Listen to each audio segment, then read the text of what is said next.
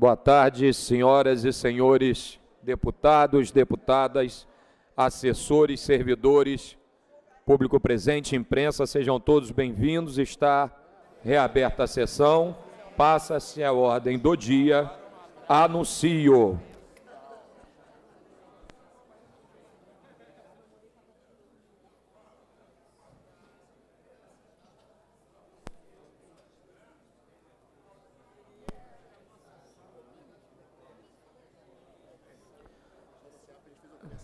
Ok. Em regime de urgência, em discussão única, projeto de lei número 3.424 de 2024, de autoria da deputada Célia Jordão, que declara como patrimônio cultural e artístico de natureza imaterial do Estado do Rio de Janeiro o projeto Unicirco. Parecer da Comissão de Constituição e Justiça pela Constitucionalidade com emenda. Relatoria do deputado Vinícius Cosolino, pendendo de pareceres das comissões de Cultura e de Assuntos Municipais de Desenvolvimento Regional.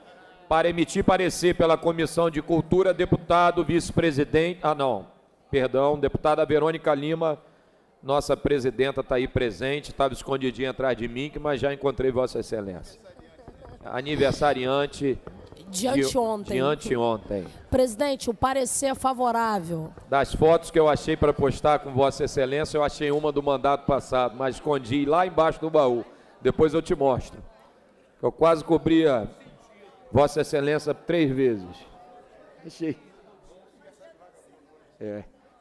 Pela Comissão de Assuntos Municipais de Desenvolvimento Regional, deputado Renato Machado.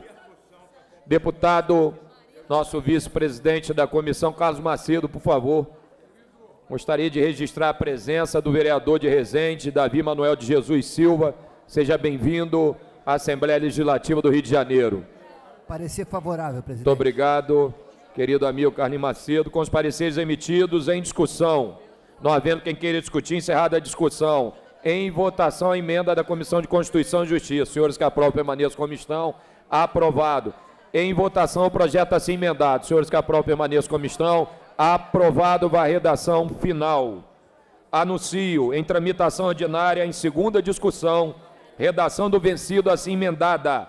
Projeto de lei número 6.193-A de 2022, de autoria da deputada Dani Monteiro, que dispõe sobre a criação de campanha educacional em saúde única nas instituições de ensino do Estado do Rio de Janeiro. Em discussão, não havendo quem queira discutir, encerrada a discussão. Em votação, a emenda de redação. Os senhores que aprovam permaneçam como estão. Aprovado. Em votação, redação do vencido assim emendada. Os senhores que aprovam permaneçam como estão. Aprovado. Vai autógrafo. Anuncio. Projeto de lei número 2027-A de 2023, de autoria dos deputados Élica Takimoto e Vitor Júnior, que autoriza o Poder Executivo a realizar campanha de conscientização sobre a importância das feiras científicas escolares e universitárias para a educação e o desenvolvimento socioeconômico do Estado do Rio de Janeiro. Em discussão, não havendo quem queira discutir, encerrada a discussão. Em votação, a emenda de redação. Os senhores que aprovam permaneçam como estão. Aprovado. Em votação, a redação do vencido assim emendado. Os senhores que aprovam permaneçam como estão. Aprovado. Vai autógrafo. Anuncio. Projeto de lei número 2360-A de 2023, de autoria dos deputados Marina do MST, Rodrigo Bacelar, Luiz Paulo, Carlos Mink, Jari Oliveira, Érica Takimoto, Atila Nunes, Dani Monteiro, Verônica Lima, Professor Josemar, Renata Souza, Marta Rocha, Dani Balbi, Flávio Serafini, Vitor Júnior, Tia Ju, Zeidan, Andrezinho Siciliano e Carla Machado, que dispõe sobre o tombamento por interesse histórico do Estado do Rio de Janeiro do Parque Industrial situado na Companhia Usina Cambaíba e dá outras providências em discussão, não havendo quem queira discutir, encerrada a discussão. Em votação, emenda de redação. Senhores que aprovam permaneçam como estão. Aprovado. em votação a redação do vencido assim emendado. Senhores que aprovam permaneçam como estão. Aprovado, vai autógrafo. Deputada Marina do MST, está aprovado. Declaração de voto? Por Declaração. gentileza. De- declaração depois. Deputado Mink, quer falar? Declaração, declaração. Por favor. Deputada Marina? Não, você, você é autora, autora. Tá, obrigada. Obrigada, presidente. Queria hum, agradecer aos nobres colegas parlamentares pela aprovação desse projeto de lei que dispõe sobre o tombamento por interesse histórico do Estado do Rio de Janeiro do Parque Industrial situado lá na usina Cambaíba, no município de Campos dos Goitacazes. Sem dúvidas, presidente, esse projeto que esta casa acaba de aprovar marca um compromisso de que a nossa história, de que a nossa democracia é imprescindível, tanto no município de Campos, no estado do Rio de Janeiro, mas também em todo o Brasil. E marca a democracia a aprovação desse projeto aqui nessa casa hoje, principalmente porque demonstra que as violações, como aquelas que, que aconteceram no período da ditadura militar, não serão mais aceitos e não podem ser repetidos.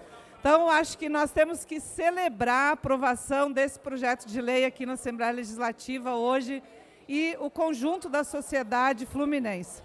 E gostaria, presidente, de saudar os familiares dos presos políticos que foram vitimados pela ditadura. Em especial, gostaria aqui de rememorar os 12 presos políticos que foram incinerados nos fornos da antiga usina Cambaíba, lá em Campos. Então, lembrar aqui Ana Rosa Kucinski Silva, Armando Teixeira Frutuoso, Davi Capistrano, Eduardo Kohler Filho, Fernando Augusto de Santa Cruz Oliveira, João Batista Rita Pereira, João Macena Melo, Joaquim Pires Cerveira, José Romão, Luiz Inácio Maranhão Filho, Tomás Antônio da Silva Meireles Neto e Wilson Silva. Eu acredito, presidente, que esse, sem dúvidas, é mais um passo em direção ao reconhecimento a todas as famílias e a todos os vitimados que passaram por esse momento duro da nossa, da nossa história. E quero saudar também os deputados que já me antecederam, que contribuíram neste processo permanente na luta por memória, verdade e justiça no Estado do Rio de Janeiro, que contou com um importante instrumento que foi a Comissão Estadual da, da Verdade, instituída pela Lei número 6335 de 2012, de autoria dos então parlamentares e deputados Gilberto Palmares, o Paulo Ramos, a Graça Matos e o nosso querido Luiz Paulo, que tenho aqui a honra de ser uma aprendiz desse nobre colega aqui da casa. E quero agradecer, presidente, nominalmente, à companheira Nadine Borges, ao doutor Hamilton Pereira, o nosso Pe- Pedro Tierra, nosso querido poeta histórico do Brasil, e também saudar o doutor Nilmário Miranda, todos companheiros comprometidos com a memória, a verdade, a justiça, que foram também fundamentais para a construção e apresentação desse projeto que agora acabamos de aprovar aqui na LERJ. E também gostaria de rememorar, presidente, que esse projeto é, sem dúvidas, o resultado de uma luta de centenas de milhares de militantes sociais, de movimentos sociais e populares e de organizações da sociedade civil para que ninguém nunca, jamais se esqueça, para que isso nunca mais aconteça no nosso país. E deixar aqui esta mensagem de agradecimento ao presidente Rodrigo Bacelar, junto com todos os demais parlamentares que são coautores desse importante projeto que hoje aprovamos aqui, E lembrar que a usina Cambaíba, que já foi um, um, lugar de morte, que já foi um lugar de exploração, que já foi um lugar de degradação ambiental, de fome, de agora em diante abre as portas para ser realmente um lugar de vida, de produção de alimentos, de organização social, de agroecologia e, sobretudo, de defesa da vida. Então, muito obrigada a todos e todas. Obrigada, presidente.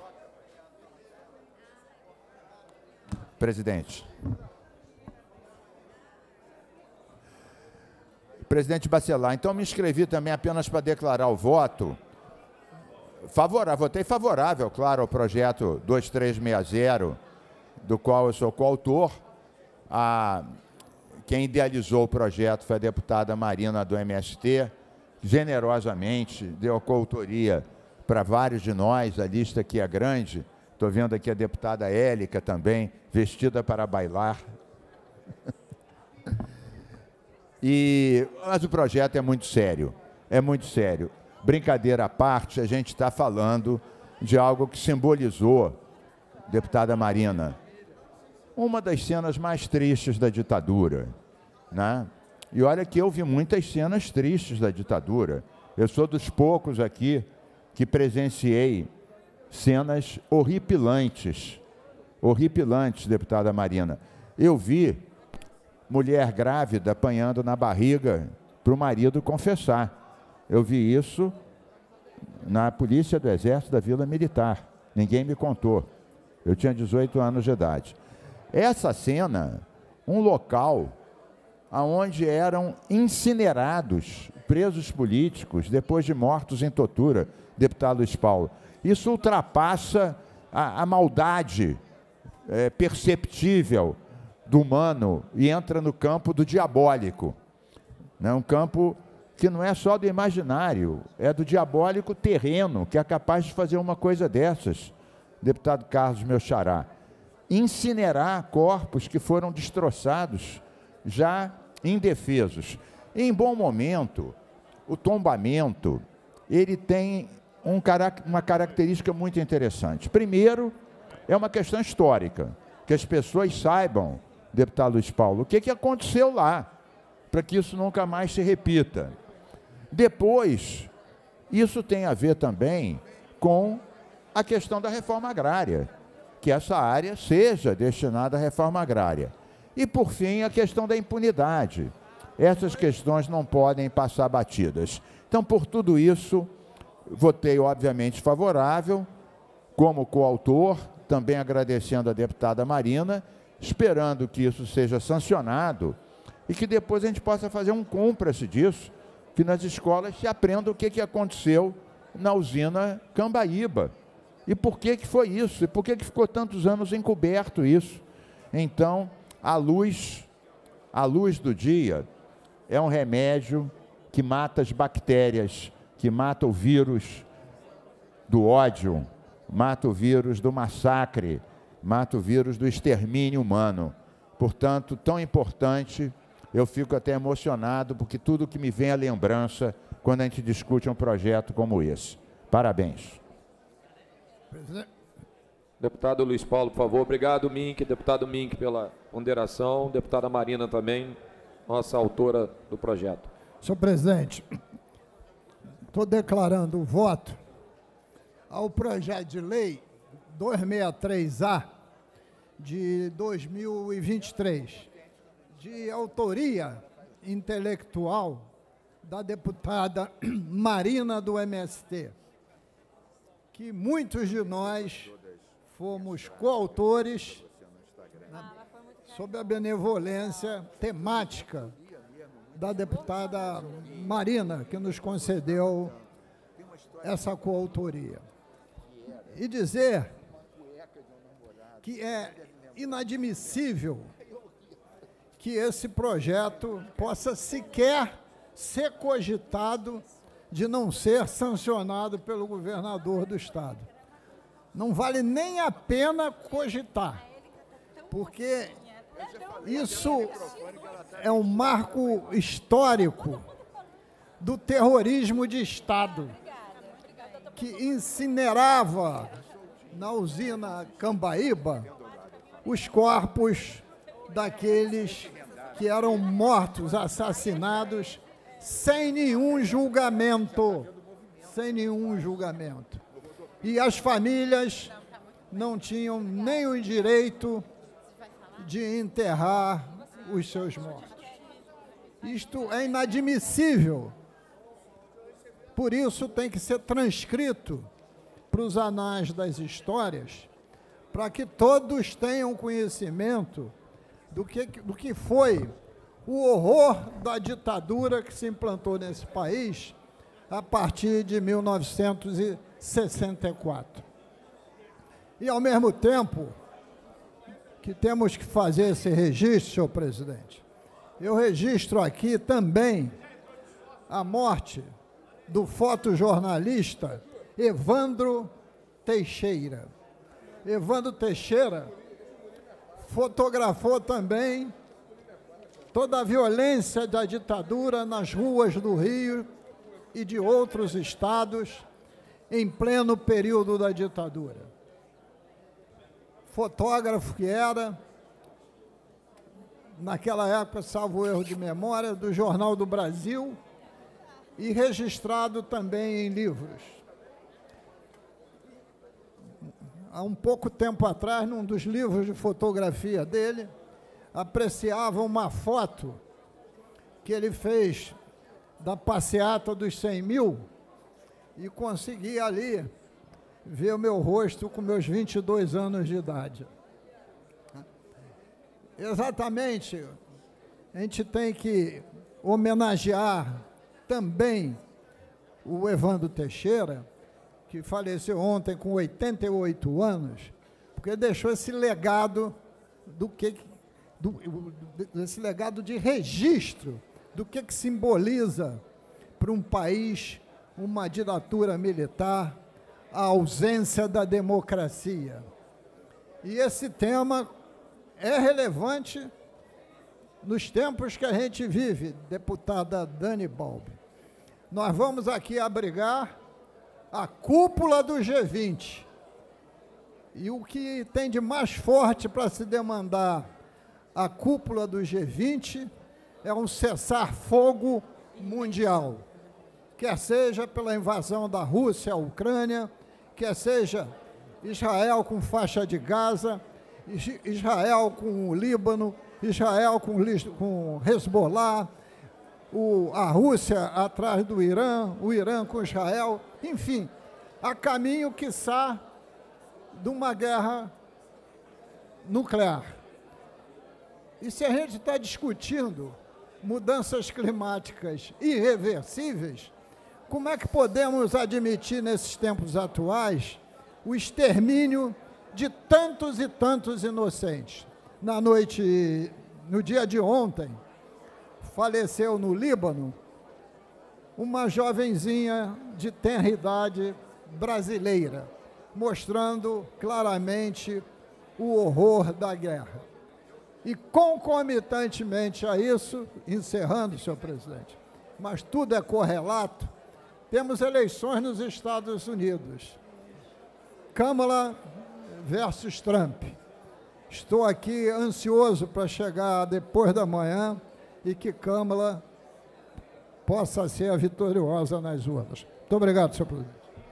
Para discutir Obrigado, muito breve. deputado Espal. Deputada Dani, por favor. Muito brevemente, senhor presidente parabenizar a iniciativa da deputada Marina do MST, que arregimentou tantos deputados que são sensíveis à pauta do fortalecimento da democracia e que sabem que não haverá fortalecimento do Estado democrático de direitos sem que nós caminhemos no sentido das reparações históricas necessárias, para que nós fortaleçamos toda e qualquer iniciativa que construa a memória dos mortos e desaparecidos pela ditadura empresarial militar, que a partir de 1964 ceifou vidas, vidas de lideranças comunitárias, vidas de militantes de diversos partidos que se entrincheiraram para resistir a esse arbítrio, a essa interdição do Estado Democrático de Direitos. Então, feliz de poder me somar à louvável iniciativa da deputada Marina do MST, enquanto representante do Partido Comunista do Brasil,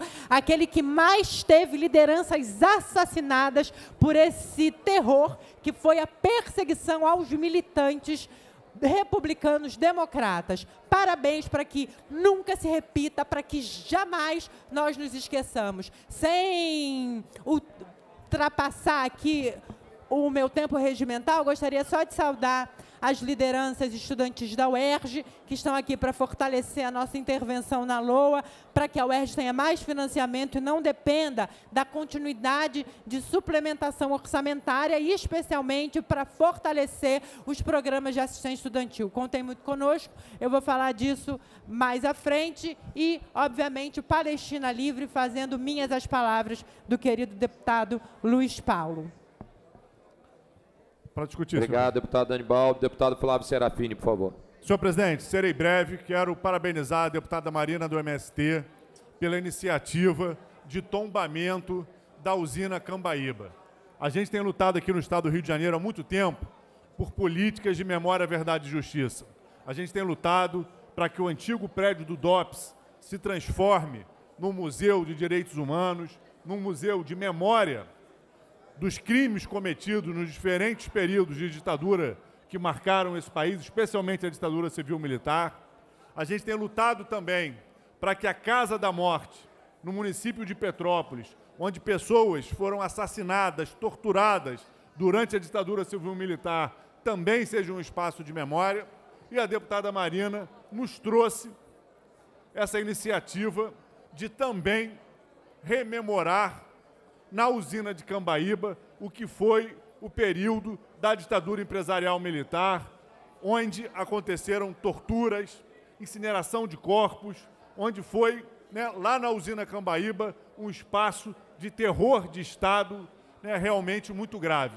Então, parabéns, deputada Marina. O Rio de Janeiro ganha muito que lá em Campos dos Goitacazes, essa cidade tão importante na história do nosso Estado e, ao mesmo tempo, tão marcada por contradições, da gente ter lá um espaço de memória para a gente fortalecer a democracia, para a gente fortalecer a nossa luta por verdade e por justiça. Então, usina Cambaíba, espaço de memória, espaço de verdade, espaço de justiça. Obrigado, deputado Flávio Serafini. Gostaria de registrar a presença do vereador Tiago Careca, da Câmara Municipal de Japeri.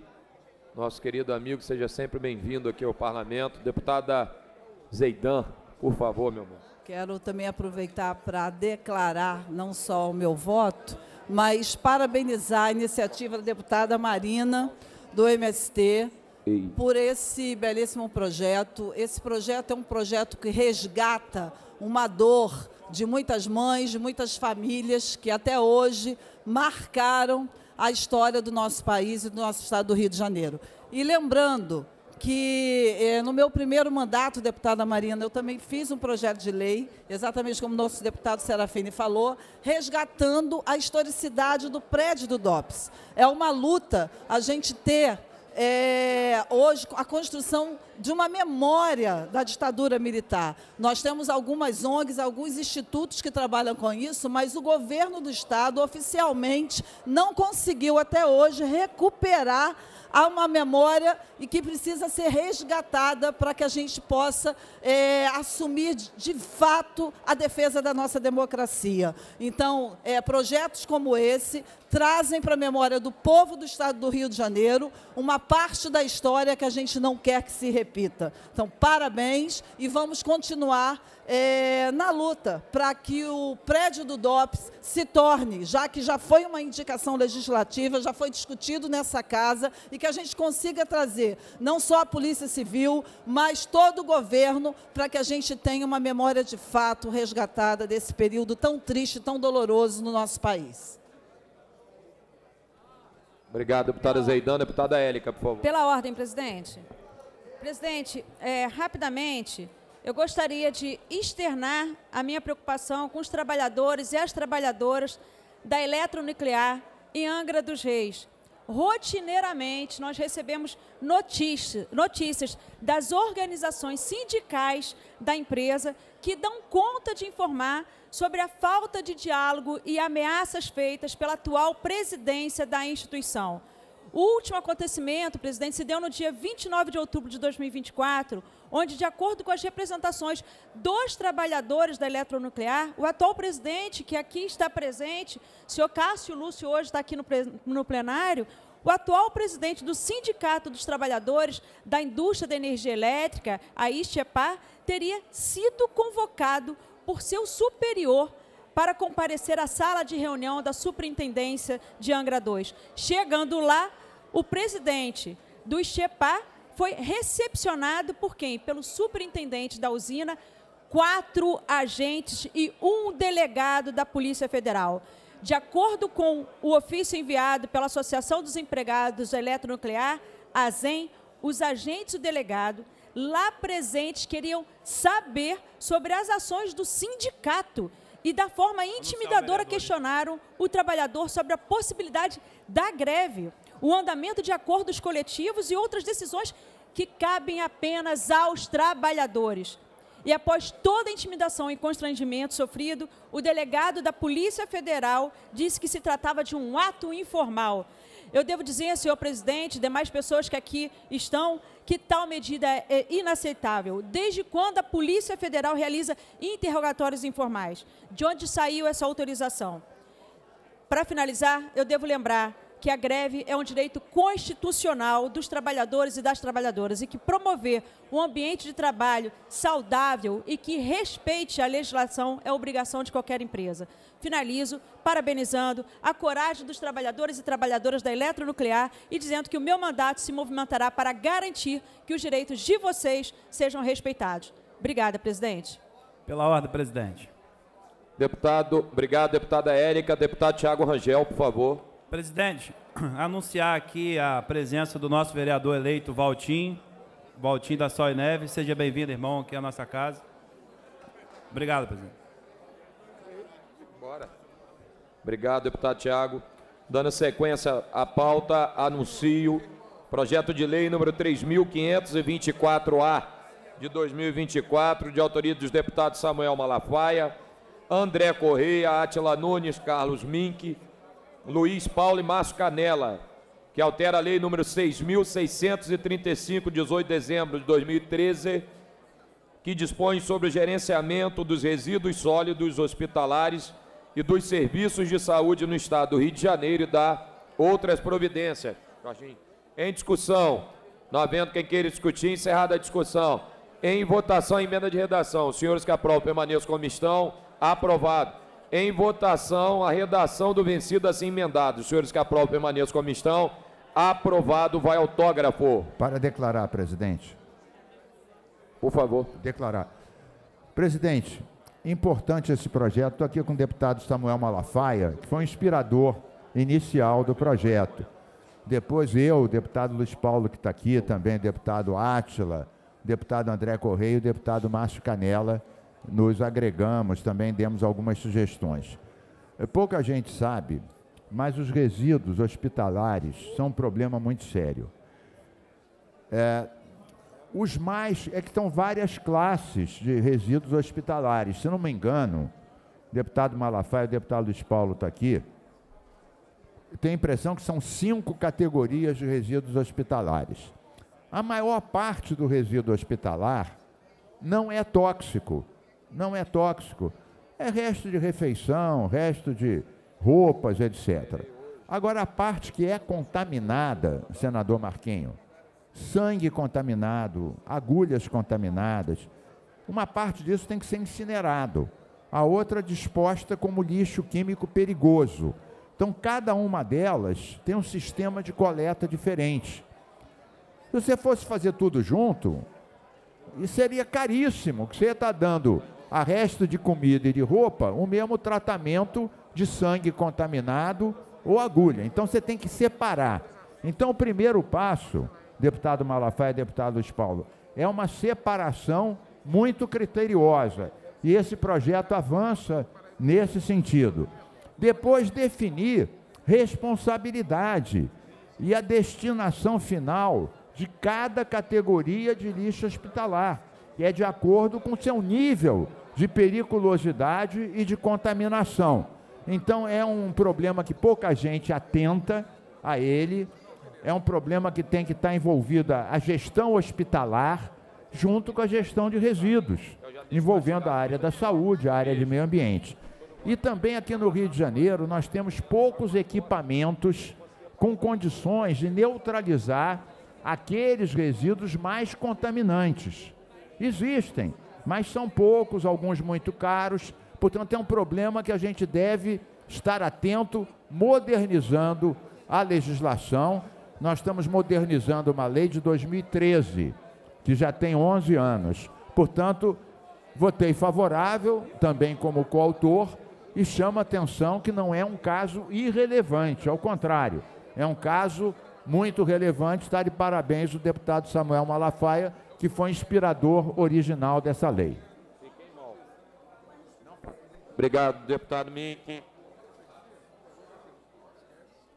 Ei.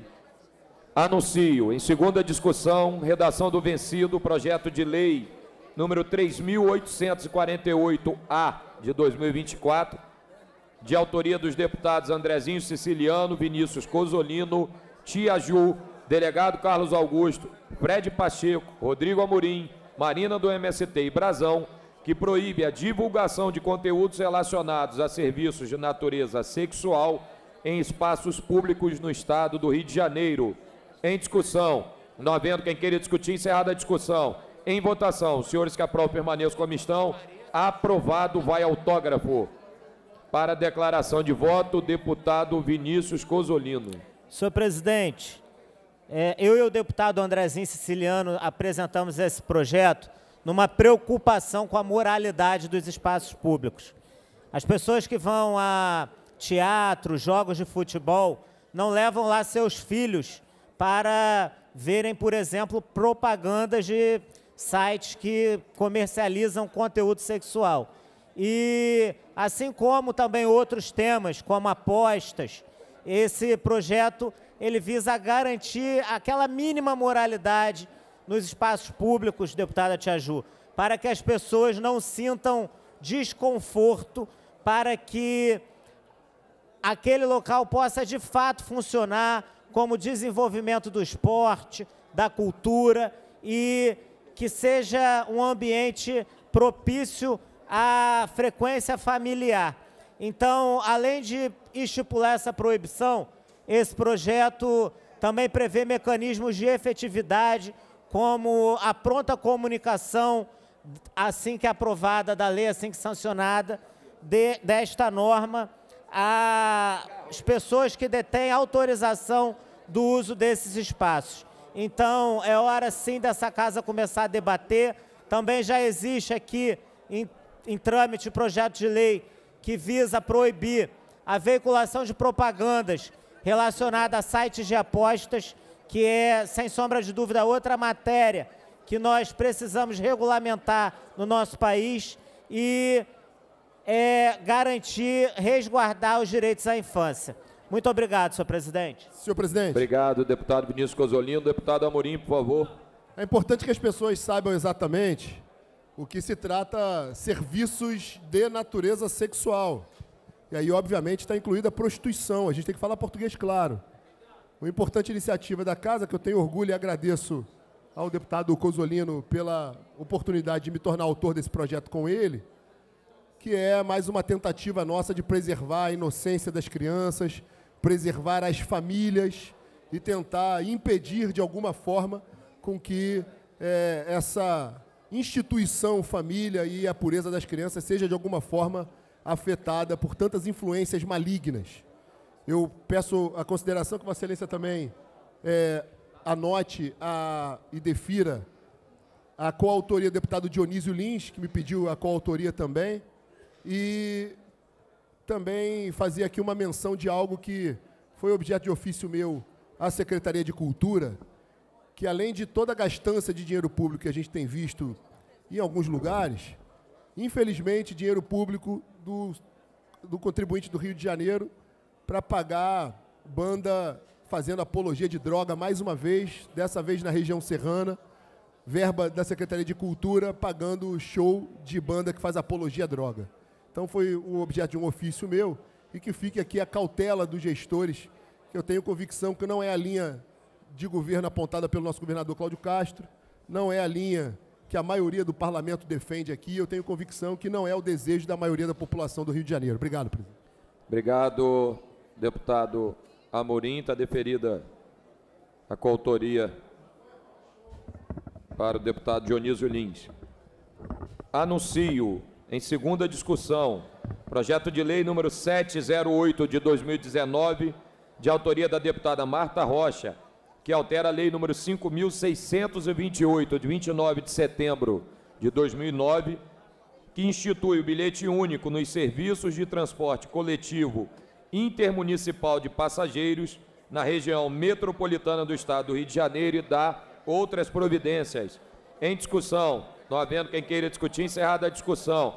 Em votação, senhores que aprovam permaneçam como estão. Aprovado, vai autógrafo. Anuncio projeto de lei número 2125 de 2023, de autoria dos deputados Carlinhos BNH e Anderson Moraes, que declara como patrimônio cultural e material do Estado do Rio de Janeiro o Nova Iguaçu Futebol Clube, localizado no município de Nova Iguaçu. Em discussão, não havendo quem queira discutir, encerrada a discussão. Em votação, senhores que aprovam permaneçam como estão. Aprovado, vai autógrafo.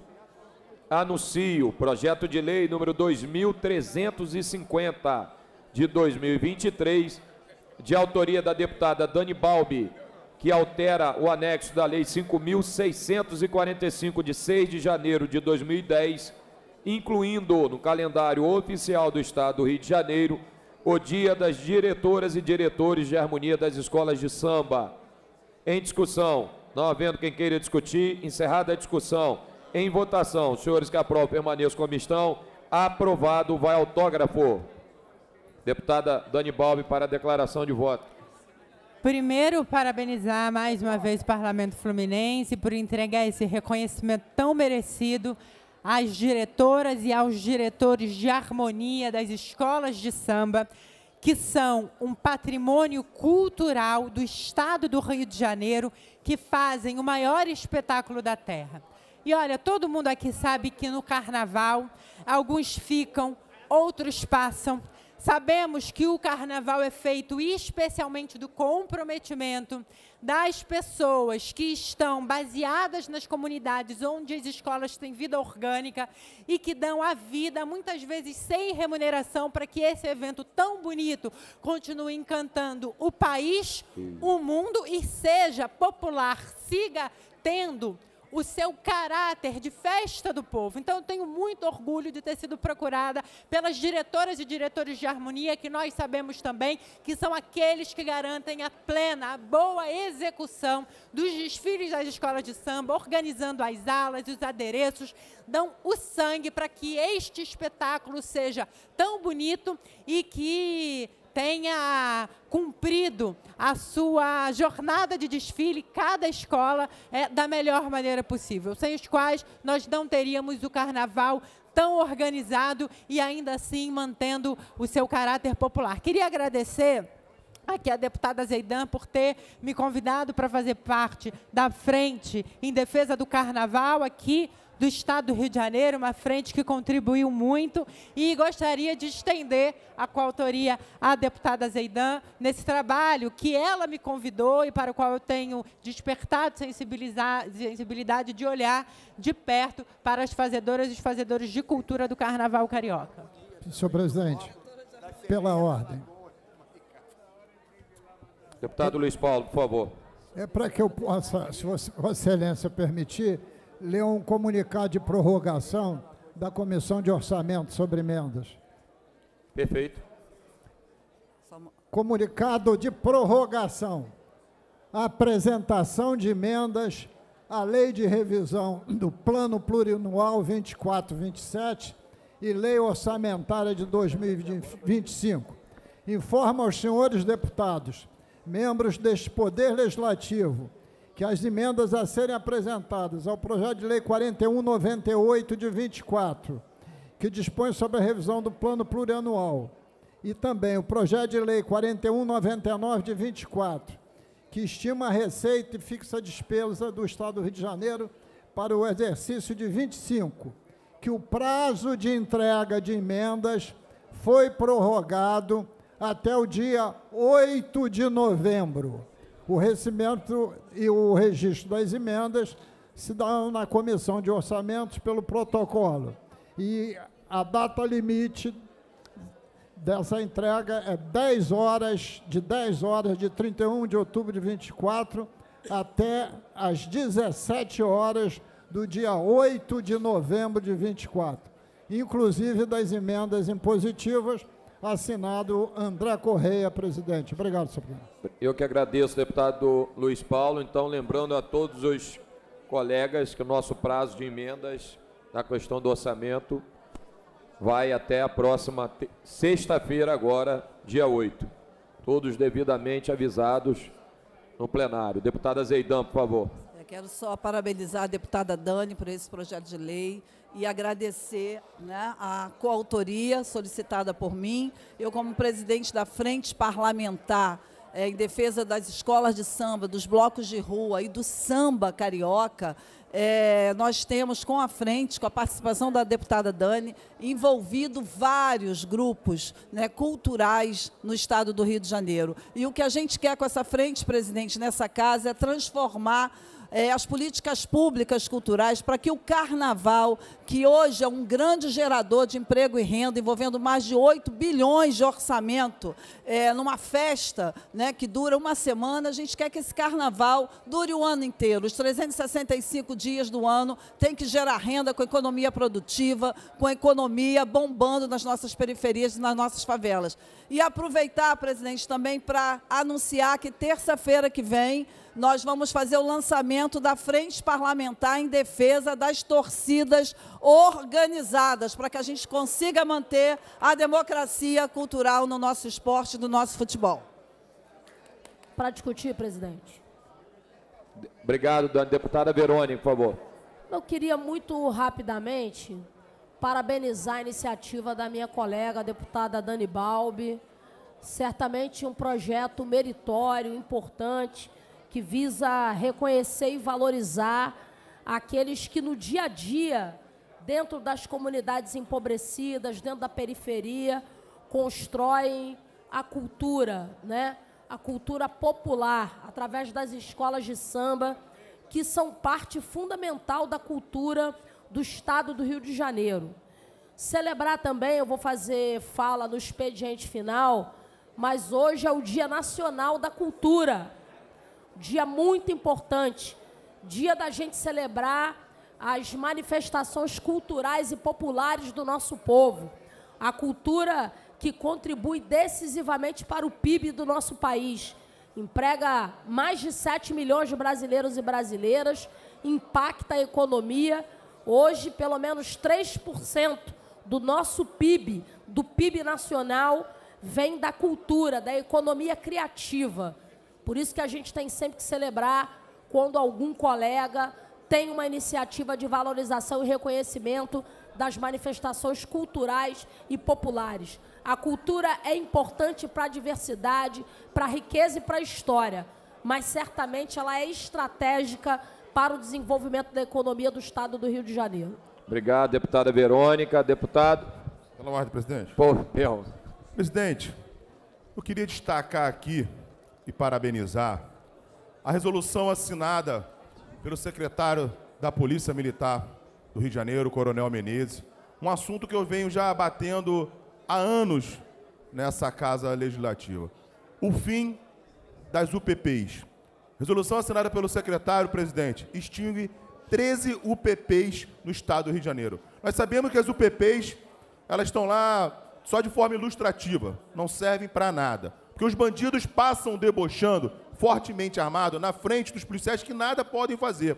Ao contrário, agora, nós vamos ter praticamente mais três batalhões nas ruas. São mais de mil homens que não vão estar presos nas UPPs, dando segurança aqui a sociedade, que nós atravessamos hoje um momento né, muito frágil sobre a segurança do Rio de Janeiro. Então eu quero destacar, quero parabenizar o secretário da Polícia Militar, né, o nosso coronel Menezes, porque é uma atitude que vai refletir diretamente na segurança pública do Rio de Janeiro. Parabéns pelo choque de gestão que ele está tendo coragem de tomar, de fazer no Rio de Janeiro, presidente. Obrigado, deputado Paubel. Deputado Marcelo Dino, por favor.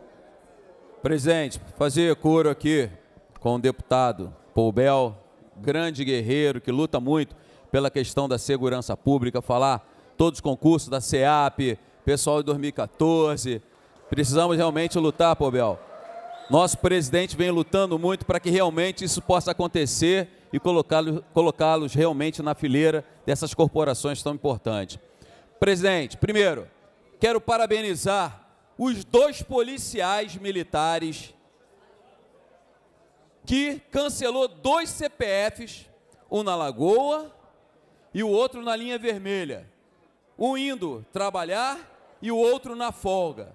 E nós vimos ali um uma das pessoas, o rapaz da Lagoa, falando que foi um anjo que estava ali para protegê-lo.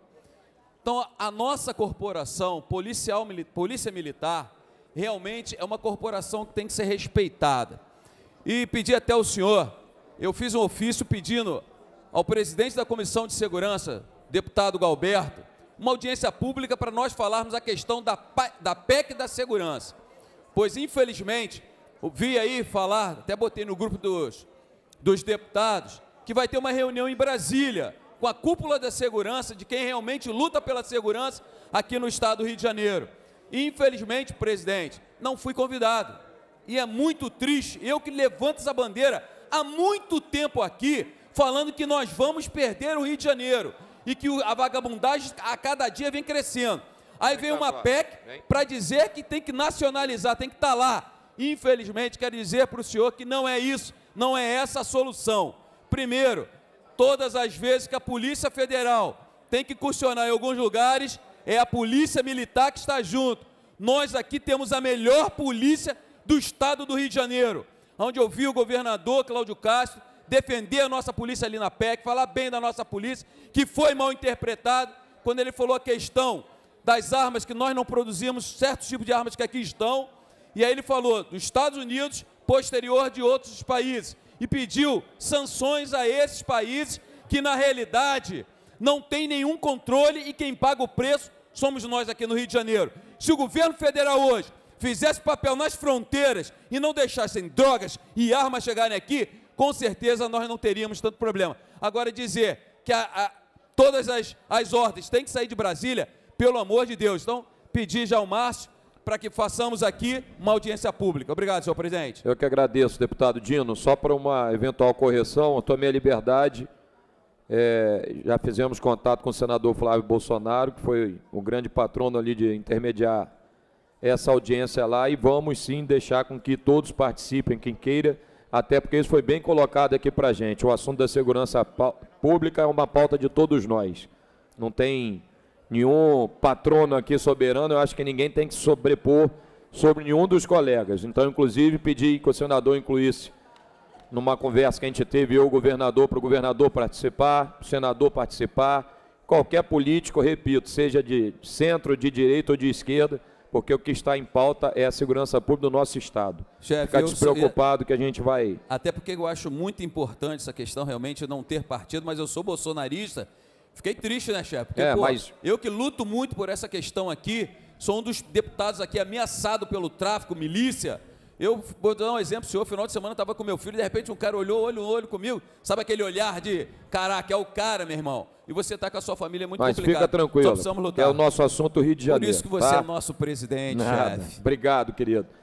Anuncio em discussão única, projeto de resolução número 910 de 2024, de autoria do deputado Vinícius Cosolino, que concede o diploma juíza Patrícia Cioli de Justiça e Cidadania a Patrulha Maria da Penha, Guardiões da Vida. Parecer da Comissão de Normas Internas e Proposições Externas favorável, relatoria do deputado Renato Miranda.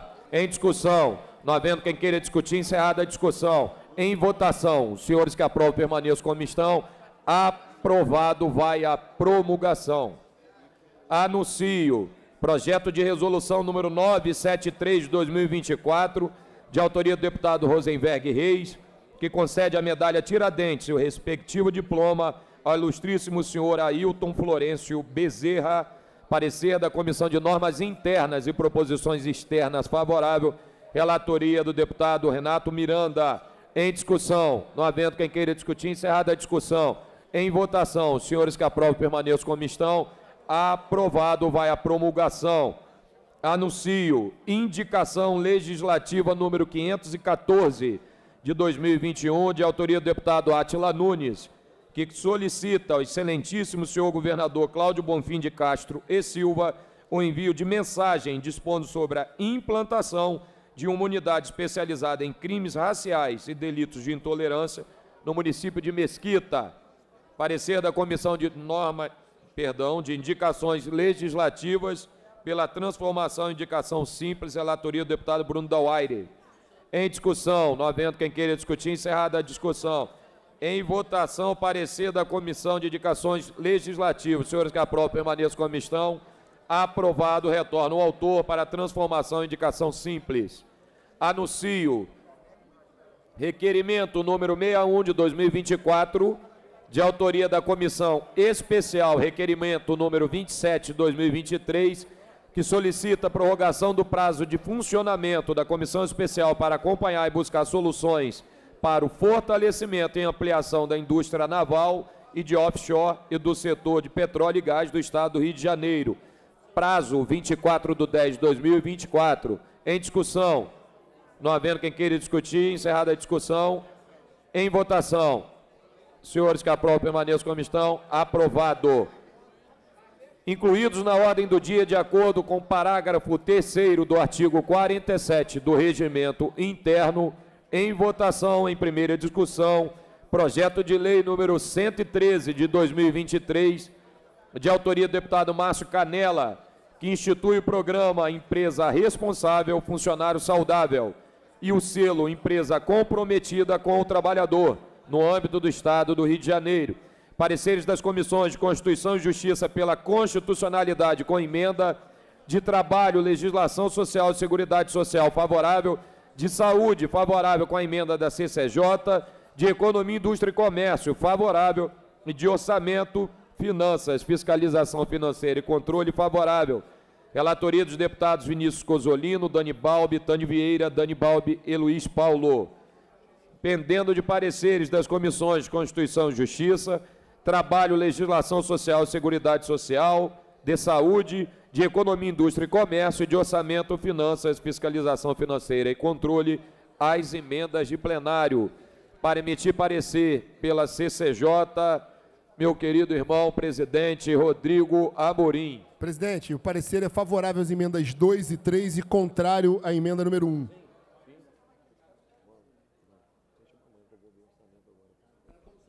Pela Comissão do Trabalho, Legislação Social e Seguridade Social, nossa querida amiga presidenta Dani Balbi, por favor. Favorável às emendas 1, 2 e 3. É cópia, né? Obrigada, Dani. Pela Comissão de Saúde, deputado Tânia Vieira.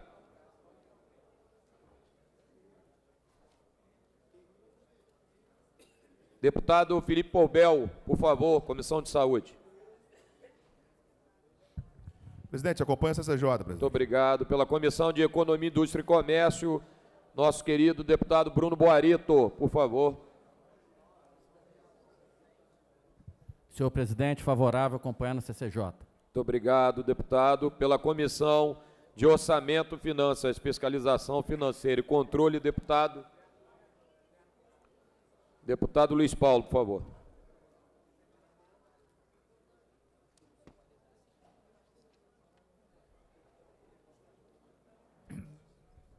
Senhor presidente, no mérito favorável, acompanhando o parecer da CCJ, favorável às emendas 1 e 3 e prejudicada a emenda 2 pela própria emenda da CCJ. Muito obrigado. Obrigado, Vossa Excelência, deputado Luiz. Com os pareceres emitidos, em votação, a emenda da Comissão de Constituição e Justiça. Senhores que aprovam, permaneçam como estão. Aprovado. Em votação, o parecer da Comissão de Justiça às emendas de plenário. Os senhores que aprovam permaneçam como estão. Aprovado. Em votação, o projeto assim emendado. Os senhores que aprovam permaneçam como estão. Aprovado. Vai a redação do vencido para segunda discussão. Anuncio projeto de lei número 2140 de 2023, de autoria das deputadas Tia Ju e Marta Rocha, que altera a lei número 8621 de 18 de novembro de 2019, que institui o Estatuto da Mulher Parlamentar e ocupante de cargo ou emprego público no âmbito do Estado do Rio de Janeiro. Pareceres das comissões Constituição e Justiça pela constitucionalidade com emendas, de defesa dos direitos da mulher favorável, de servidores públicos favorável, de combate às discriminações e preconceitos de raça, cor, etnia, religião e procedência nacional favorável, de ciência e tecnologia favorável e de orçamento, finanças, fiscalização financeira e controle favorável. Relatores, deputados Rodrigo Amorim, Marina do MST, Fred Pacheco, professor Josemar, Érica Takimoto e Luiz Paulo pendendo de pareceres das comissões Constituição e Justiça, de defesa dos direitos da mulher, de servidores públicos, de combate às discriminações e preconceitos de raça, cor, etnia, religião e procedência nacional, de ciência e tecnologia e de orçamento e finanças, emendas de plenário. Para emitir parecer pela CCJ, deputado Rodrigo Amorim. Presidente, favorável às emendas 1, 2, 3, 4 e 6 Favorável com subemenda à emenda número 5, contrário às demais emendas. Muito obrigado, Amorim, pela Comissão de Defesa dos Direitos da Mulher. Deputada Zeidan, por favor, nossa vice-presidente da comissão.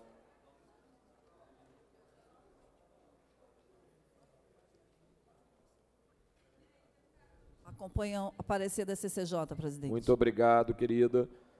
Pela Comissão de Servidores Públicos, minha querida amiga Marta é autora. Deputado Luiz Paulo, por favor.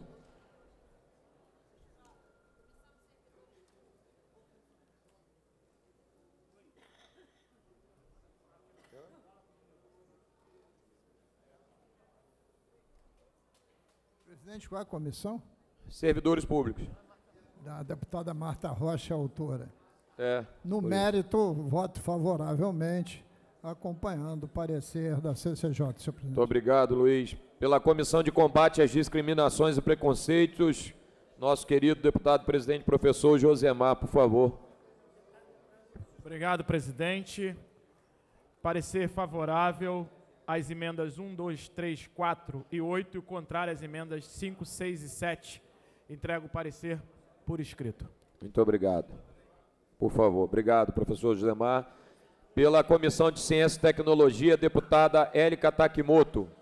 Presidente, parabenizando né, o projeto da deputada Tia Ju e Marta Rocha, é, que institui o Estatuto da Mulher Parlamentar e Ocupante no cargo de emprego, emprego público. Inclusive, elas incluíram as candidatas né, que foi muito importante, que às vezes as mulheres, só pelo fato de colocar o nome né, é, é para jogo, já sofrem muita violência política. Então, estabelecer esse, esse ambiente saudável para as mulheres poderem atuar politicamente é muito importante. Parecer da Comissão da Ciência, acompanhe o parecer da CCJ, presidente. Muito obrigado, deputada Érica. Pela Comissão de Orçamento e Finanças, deputado Luiz Paulo, por favor.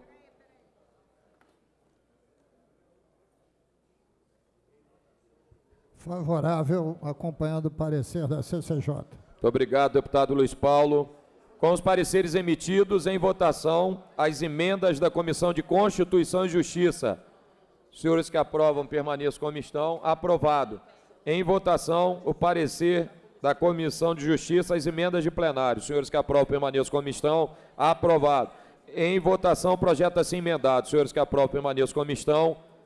Aprovado. Vai redação do vencido para a segunda discussão. Nada mais havendo a tratar na ordem do dia. Deputada, de perdão, perdão, me perdoe. Você demorou a chegar no microfone, gente. Não, já não? estava aqui. É, o microfone às vezes não fala direito, né? A gente fala. Desculpa. É, a declaração de voto à vontade, as autoras, voto, é claro. minhas queridas amigas, ambos nos microfones. O tempo que quiserem.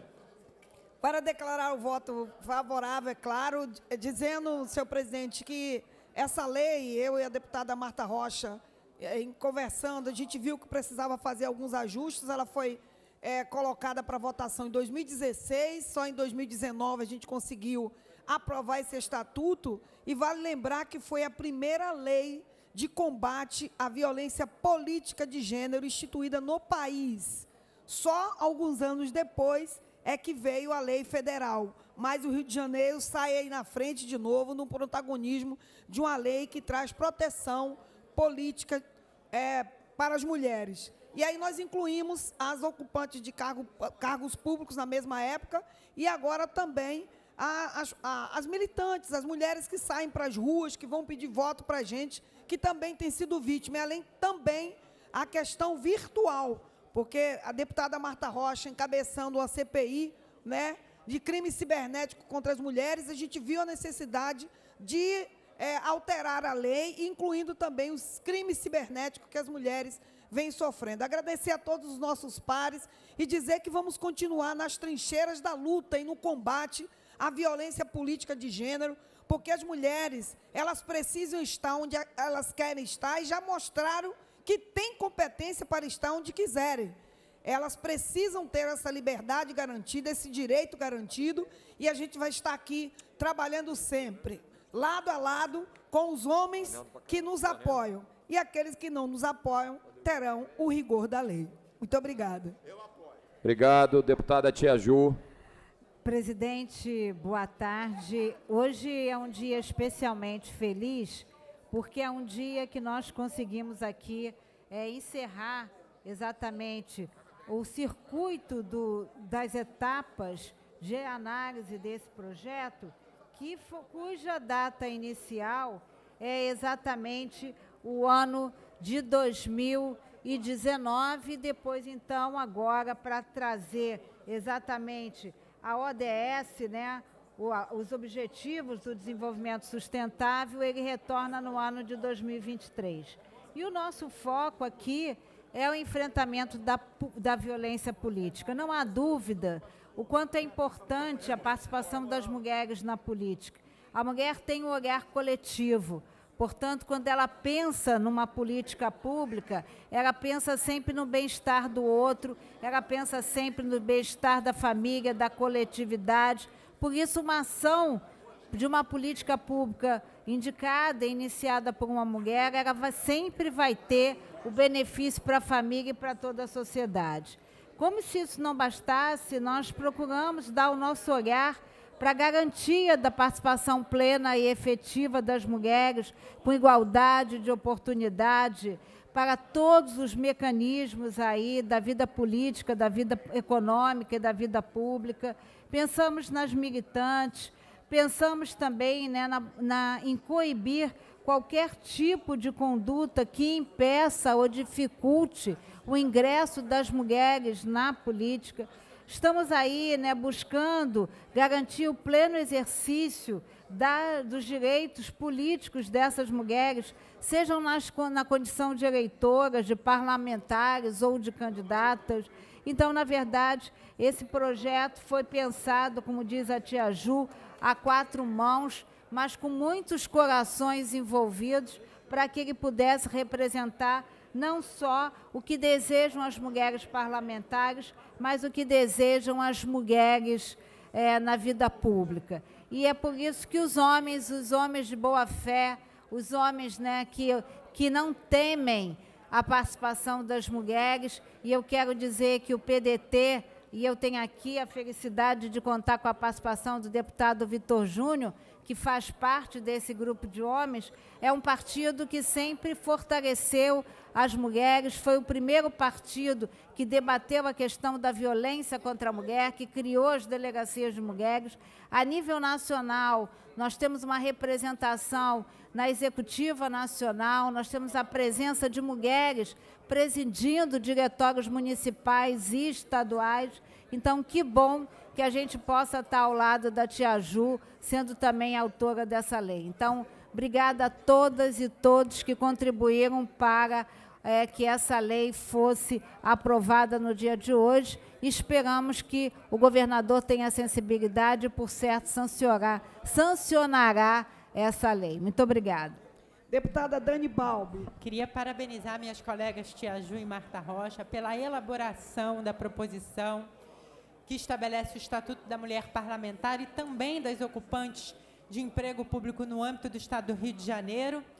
Uma iniciativa importantíssima, não só para que nós vejamos, a partir do encorajamento que essa lei dá, mais mulheres ocupando espaços de poder e decisão, mas também que nós combatamos todas as formas de violações de direitos que são historicamente a realidade das mulheres nas instituições públicas e privadas de todo o mundo.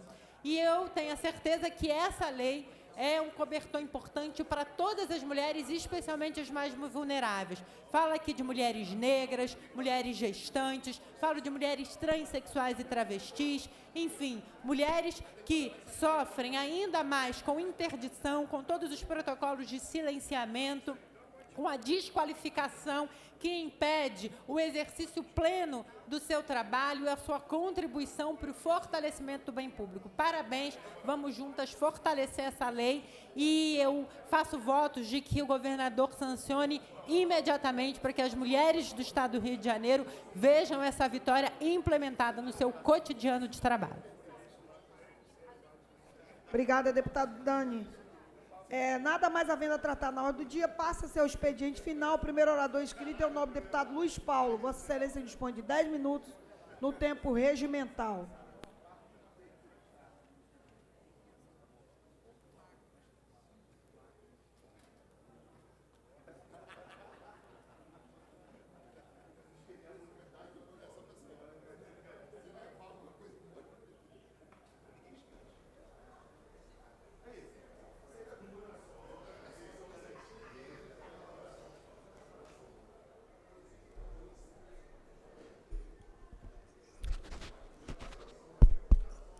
Senhora presidente, deputada Tia Ju, comandando aqui o nosso expediente final.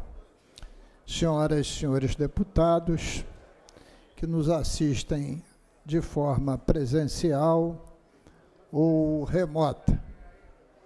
Senhoras e senhores telespectadores da TV Alerj, intérprete da língua de Libras, que leva a nossa voz aos deficientes auditivos.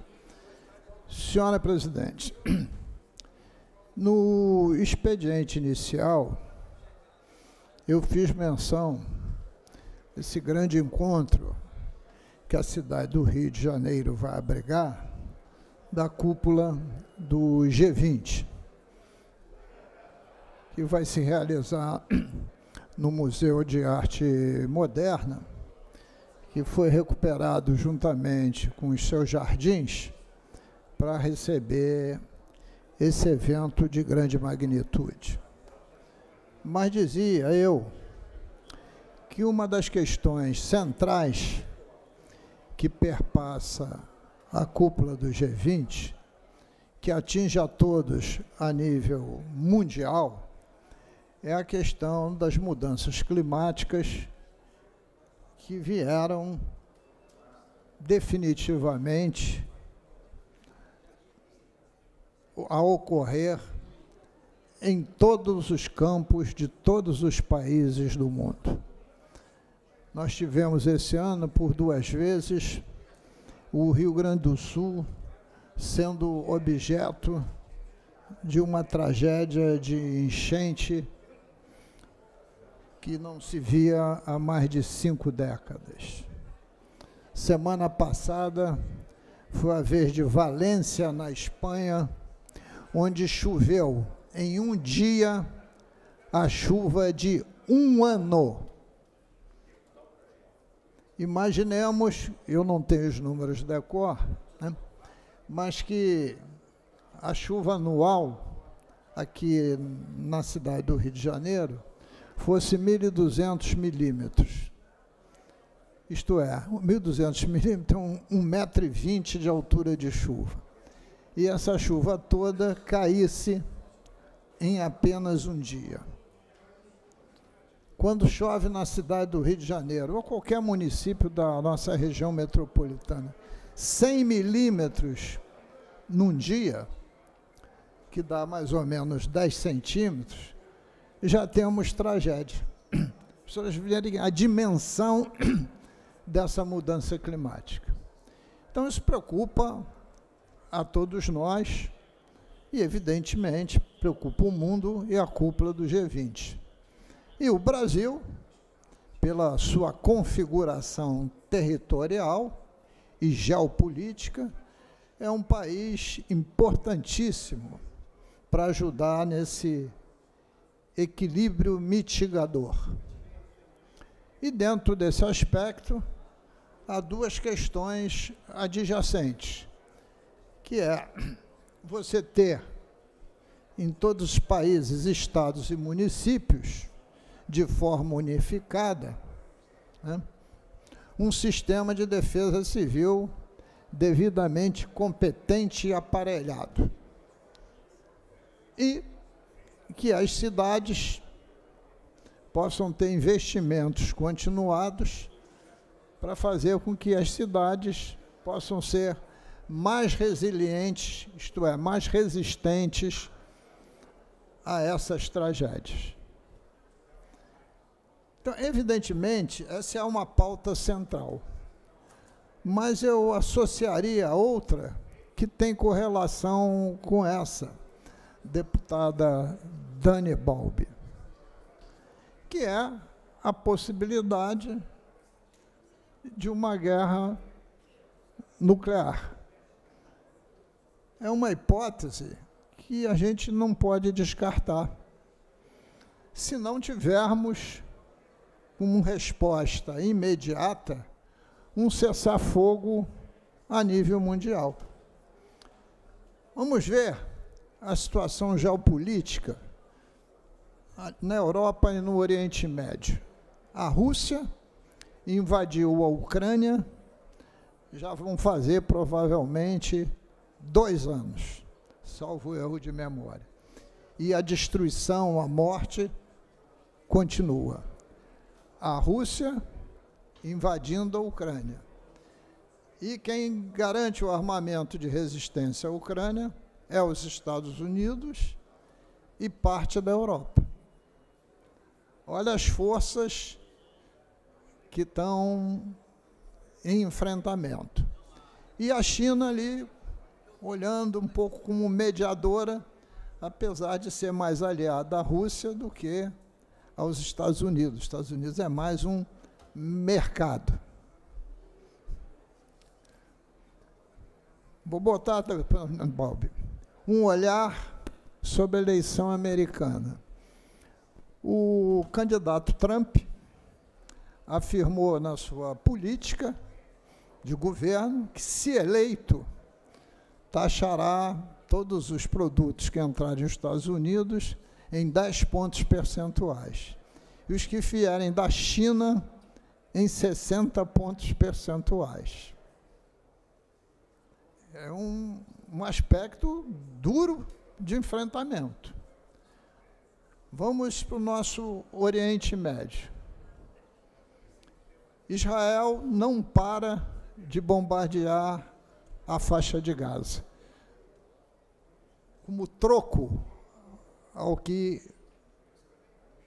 a faixa de Gaza fez a Israel.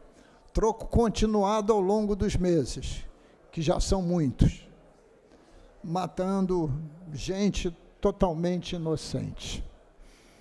Agora Israel abriu uma frente e vice-versa com o Hezbollah. Hezbollah, como sabe a senhora, é o partido de Alá, né? ou seja, o partido de Deus, porque Alá, no fundo, é Deus. O Hezbollah bombardeia Israel a partir do Líbano, Israel contrapõe esse ataque e tenta destruir os chefes do Hezbollah e, com isso, mata a população civil libanesa. inocentes sendo mortos a dezenas. Só de aviões com 250 refugiados, salvo erro de, de memória, o Brasil já trouxe seis ou sete voos. Mais atrás do armamento do Hezbollah está o Irã, que também joga míssil para Israel e vice-versa. Mas atrás do Irã está novamente a Rússia. E quem fornece armamento para Israel é os Estados Unidos. Olha o tamanho do problema que nós estamos sentados. E também o Iraque já começou a se fazer presente em investidas bélicas. Então, senhora presidente, isso é o caldeirão do inferno. Mesmo ali, sem usar energia nuclear, cada bomba daquela que explode interfere de forma violenta no meio ambiente.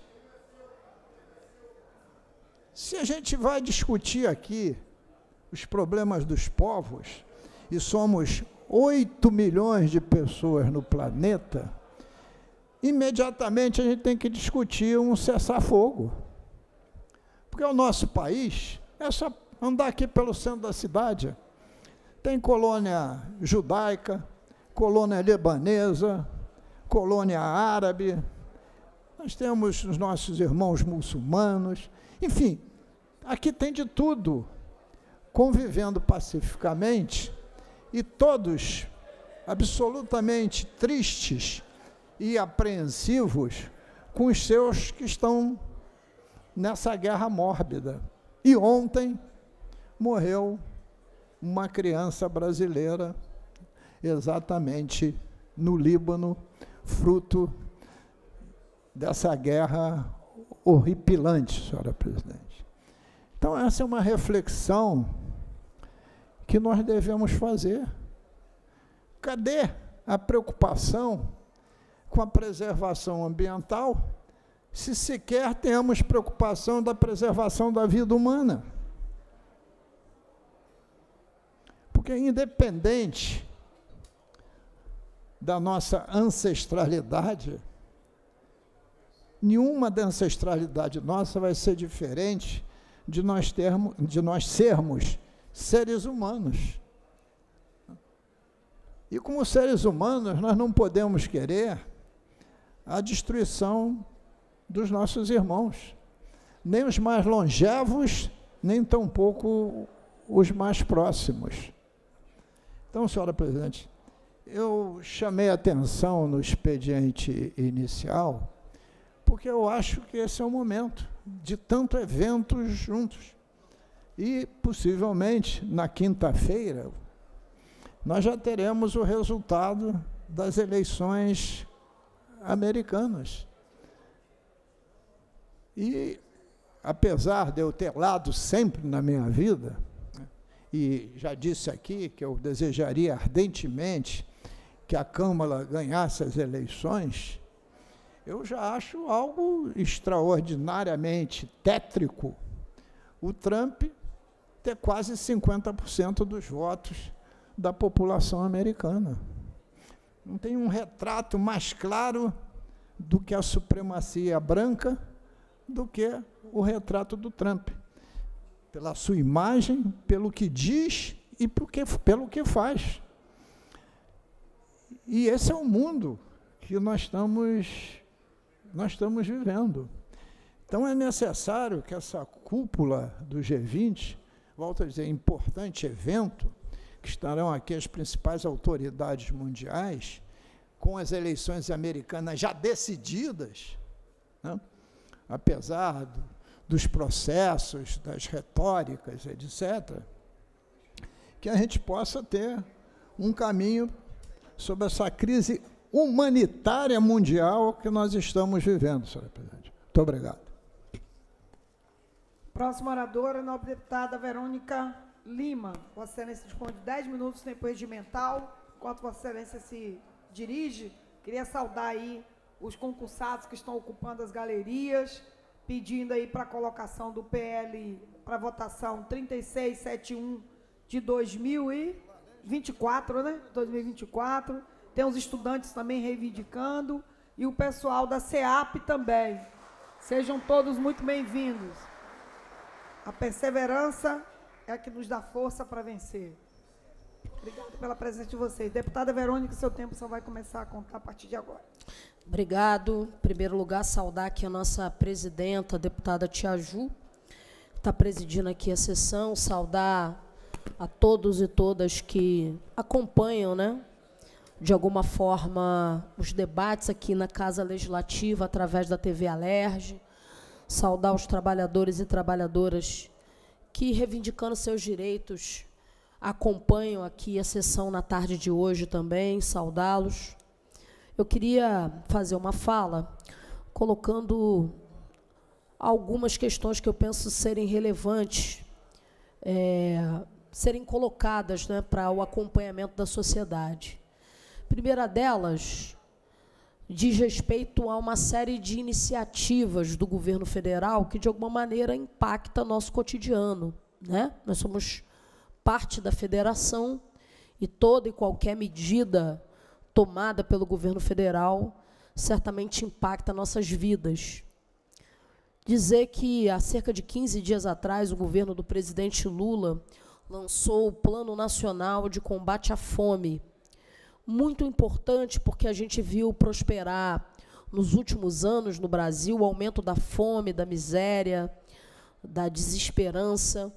O Brasil, que já tinha erradicado a fome, voltou para o mapa da fome e da miséria entre os anos de 2019 e 2022, algo que a gente tinha saído.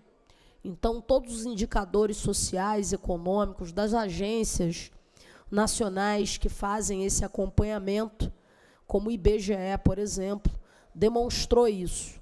Então, muito importante a gente ter um plano nacional de combate à fome para incentivar estados, municípios a terem políticas públicas, a investirem em programas de segurança alimentar e nutricional, a terem equipamentos como restaurantes populares, bancos de alimentos, para a gente poder fomentar a segurança alimentar na produção de alimentos saudáveis em quantidade suficiente para todas as pessoas.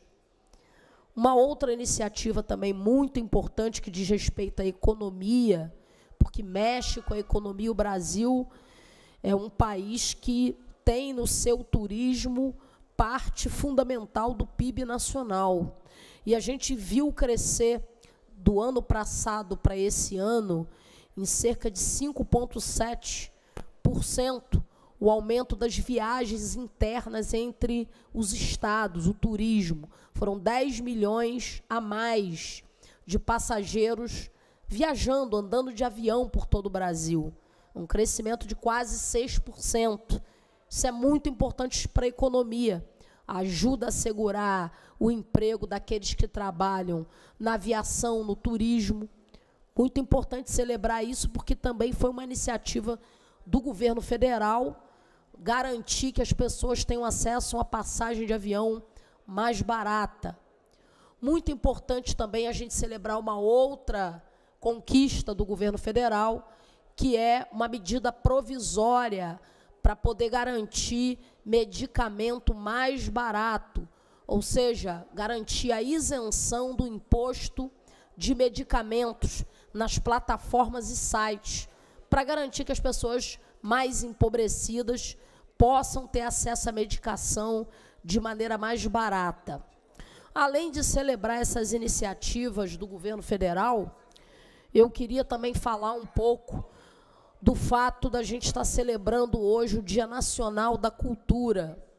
Muito importante a gente dizer e celebrar o fato da gente poder ter liberdade, da gente poder celebrar a diversidade cultural que a gente tem no nosso país. São muitas as manifestações culturais e populares do nosso povo.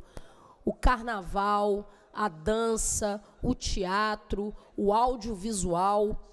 e não só celebrar como manifestação que enriquece o nosso conhecimento, a nossa vivência, a nossa experiência e acumula para a nossa existência, mas também celebrar fundamentalmente o fato da economia criativa ser nada mais, nada menos do que 3% do PIB nacional. Ou seja, a cultura e a economia criativa empregam de maneira direta 7 milhões e meio de pessoas por todo o Brasil. E aqui no estado do Rio de Janeiro, mais de 4% do nosso PIB vem também da economia criativa e da cultura. Celebrar o fato da nossa Comissão de Cultura, no ano passado, ter feito inúmeras audiências públicas da Lei Paulo Gustavo, que foi fundamental para a gente fazer com que todos pudessem ter acesso. Foi feito um estudo da Fundação Getúlio Vargas pelo governo do Estado, pela Secretaria de Cultura do Estado, que demonstrou que foram assegurados mais de 11 milhões, ou desculpa, mais de 11 mil empregos diretos só a partir da aplicação desses recursos do governo federal na economia do estado do Rio de Janeiro. Foram 498 milhões que foram diretos para os cofres públicos do estado do Rio de Janeiro. Isso foi muito importante porque ajudou a gerar e a manter empregos, postos de trabalho que são fundamentais. Muito importante a gente dizer também as iniciativas que esse parlamento tem tido no último período, no sentido de garantir a fomentação das manifestações culturais, não só através das emendas, mas também através das leis de fomento. Tramita aqui nessa Casa Legislativa uma lei, inclusive de nossa autoria, que visa garantir o fomento para manifestações culturais das mais relevantes para o nosso povo. Esse ano nós fizemos também emendas para o Fundo Estadual de Cultura.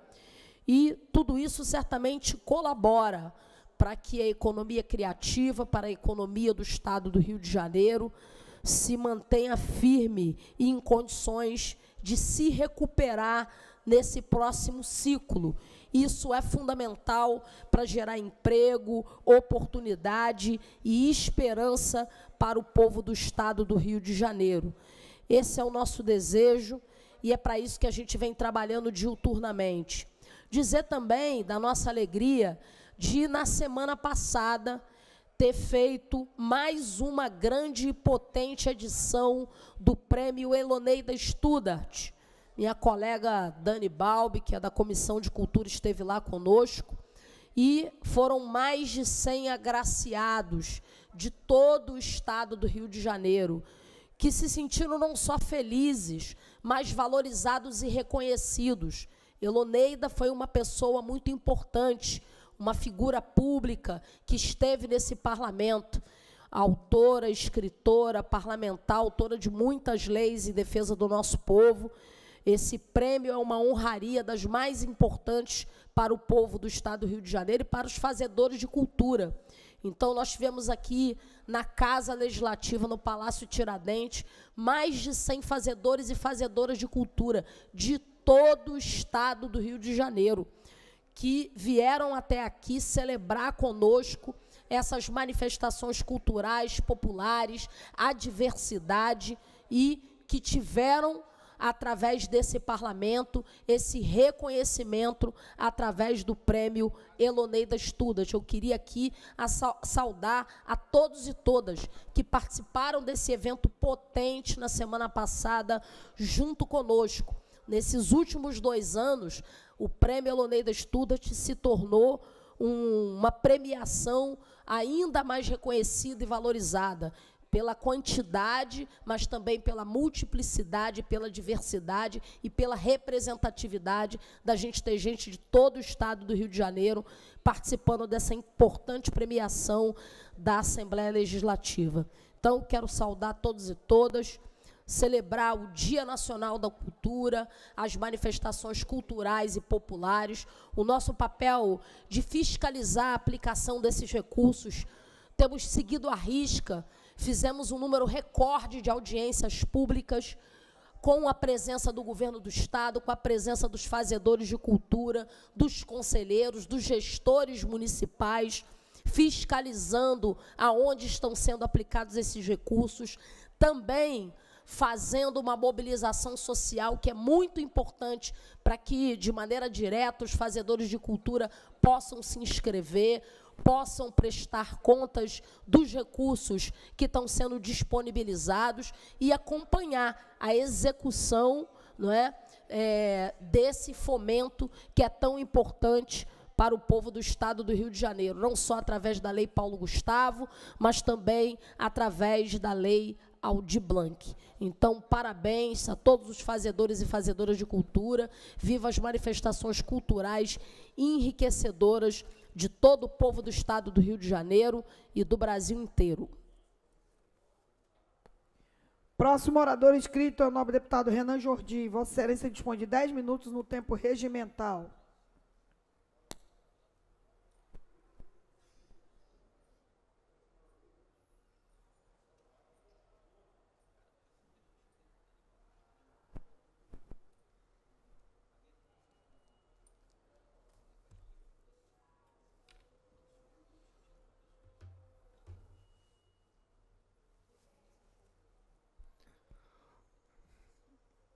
Boa tarde, nobre presidente.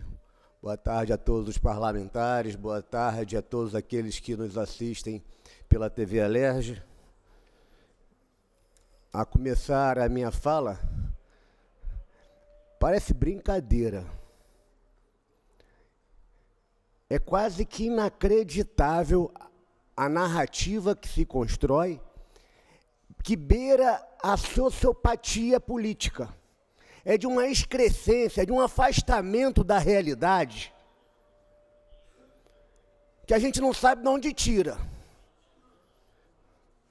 O desgoverno Lula entregou tudo às avessas do que prometeu. E isso não sou eu que digo. São as manchetes de jornais recorrentes em toda ela, daquela da mais de direita do meio de comunicação mais de esquerda, o que mais se vê são as notícias que assolam a população brasileira desde que o desgoverno Lula assumiu, prometendo mais amor, mas entregou mais criminalidade. Ou a população do Rio acha que no estado do Rio se produz fuzil. O afrouxamento das políticas públicas de segurança nas fronteiras é o que faz o Rio de Janeiro viver a situação que vive hoje. Favelas, verdadeiros lugares aparelhados pelo crime, fortemente armados. Verdadeiros batalhões de criminosos, aonde muitas vezes a polícia inclusive não consegue entrar. Entre disse que entregaria mais amor e prendeu centenas de idosos com bolas de gude na mão.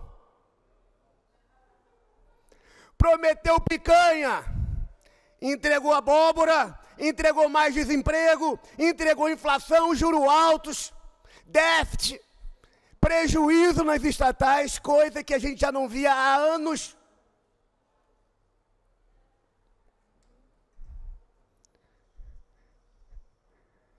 E a deputada que me antecede aqui,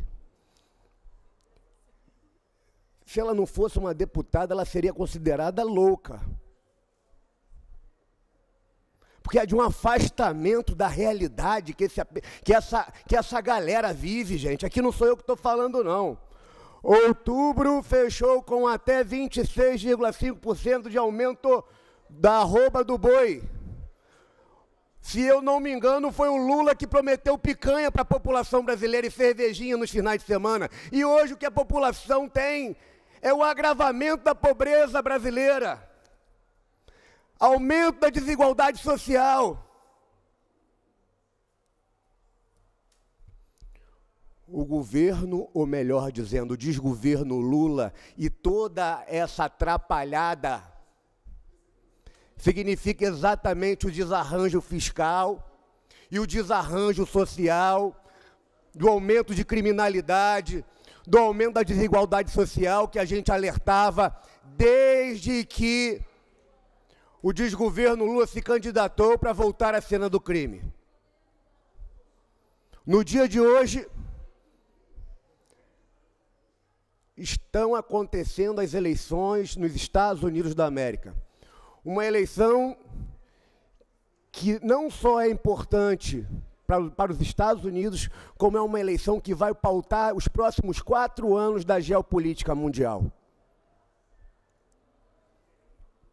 Ao, de um lado, a gente tem a continuidade dessa política fraca, de destruição da família, de destruição de valores fundamentais que regem a civilização ocidental, que é a continuação do governo Biden, que defende aborto, que defende descriminalização das drogas, que defende ideologia de gênero, que defende uma economia fraca, que defende tudo o que está acontecendo no Brasil hoje, em pouco menos de dois anos de, de, de desgoverno Lula. E do outro lado a gente tem o candidato republicano Donald Trump, que significa, dentro desse novo painel geopolítico, o fortalecimento da democracia, o fortalecimento da economia e o fortalecimento das liberdades individuais do cidadão, seja ele do cidadão americano, e como disse aqui, é uma eleição que vai pautar todo mundo, das liberdades individuais do mundo inteiro. Então, quero frisar aqui a relevância a importância das eleições americanas, porque só com as eleições do Donald Trump nos Estados Unidos, a gente vai pavimentar caminho no mundo para que a gente possa novamente ter pessoas à frente de pátrias com vontade de defender valores inegociáveis valores que nos trouxeram até aqui, valores que trouxeram a população ao longo de mais de 5 mil anos. O fortalecimento da economia das liberdades individuais do brasileiro, da democracia. E para que a gente possa novamente ter alguém de bem no Palácio do Planalto a partir de 2026. Muito obrigado, senhor presidente.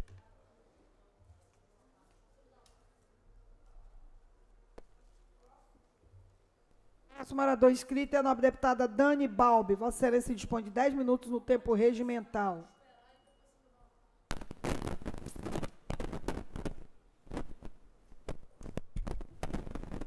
Boa tarde a todas e todos os nobres parlamentares que nos assistem, a comunidade do Estado do Rio de Janeiro que nos acompanha pela TV Alerge.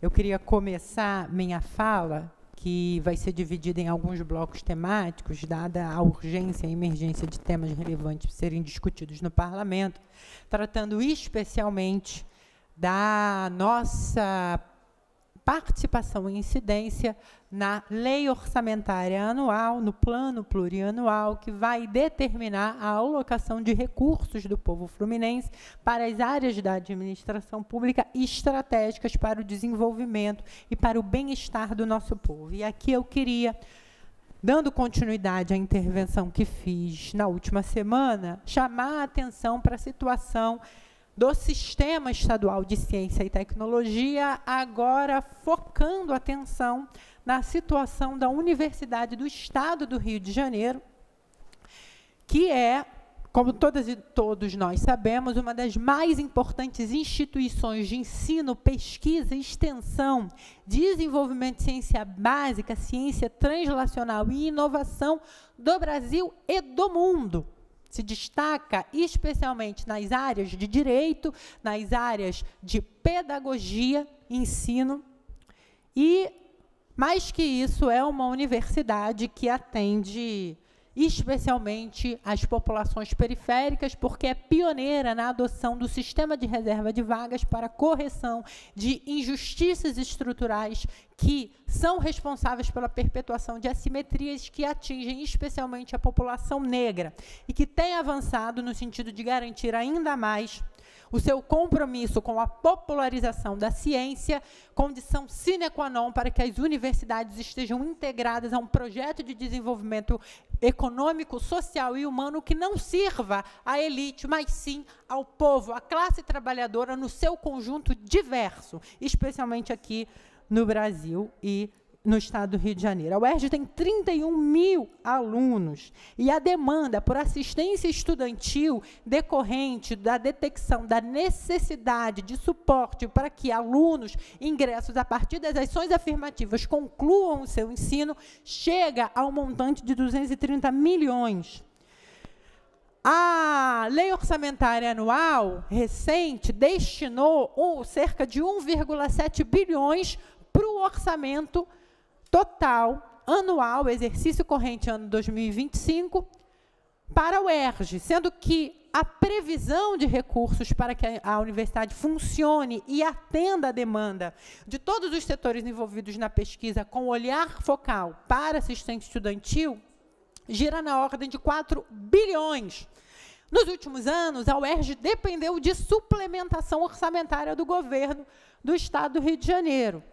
E essa suplementação, ora atendida, ora não atendida, não descricionou áreas importantíssimas como a área da assistência estudantil. Então, eu faço aqui um apelo para todas e todos os deputados, ainda na esteira das discussões do fortalecimento do sistema de ciência, tecnologia e inovação, para que elas estejam força, para que elas sejam geridas por quem tem compromisso com o fazer científico, com o desenvolvimento tecnológico do Estado a serviço do bem-estar da população, que intervenham na LOA para que nós consigamos atingir o patamar de 4% e mais do que isso, para que a ação direta de inconstitucionalidade que incide sobre a Constituição do Estado do Rio de Janeiro seja revista, porque ali nós temos a vinculação de 6% da receita líquida do Estado do Rio de Janeiro direcionados para o ERJ e que nós possamos avançar não só na revinculação desses valores, nos aumentos significativos,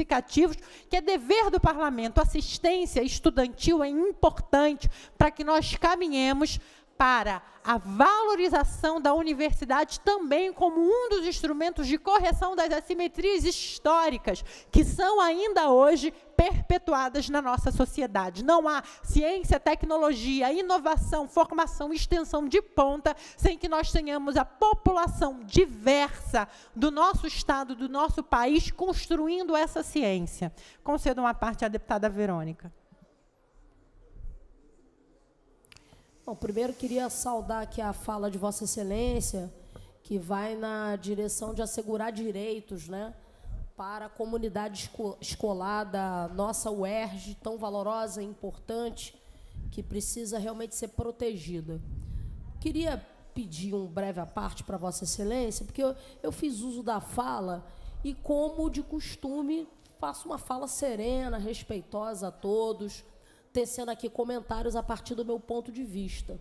Mas tem aqui um sujeito, que eu agora não chamo nem mais de Vossa Excelência, é um sujeito que está aqui na casa, que eu não sei a fixação que ele tem, ele tem uma espécie de fixação né, em relação a mim. E aí, todas as vezes, ele faz uso da palavra de uma maneira desrespeitosa. É muito simbólico que no dia em que a gente aprovou uma iniciativa da deputada Marta Rocha e da presidenta Tia Ju, que está presidindo agora a sessão, que eu, a quem eu queria pedir atenção, Tia Ju, por favor.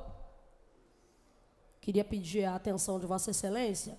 É muito simbólico que no dia em que a gente aprova nessa casa legislativa um estatuto onde a gente visa enaltecer, valorizar e determinar determinados, é, é, padronizar determinados tipos de comportamento que são desrespeitosos com nós, mulheres parlamentares, esse, essa criatura venha não é, fazer uso da palavra se referindo a mim, se eu não fosse deputada, seria louca. Bom, eu não vou repetir o insulto, porque não é alguém que mereça.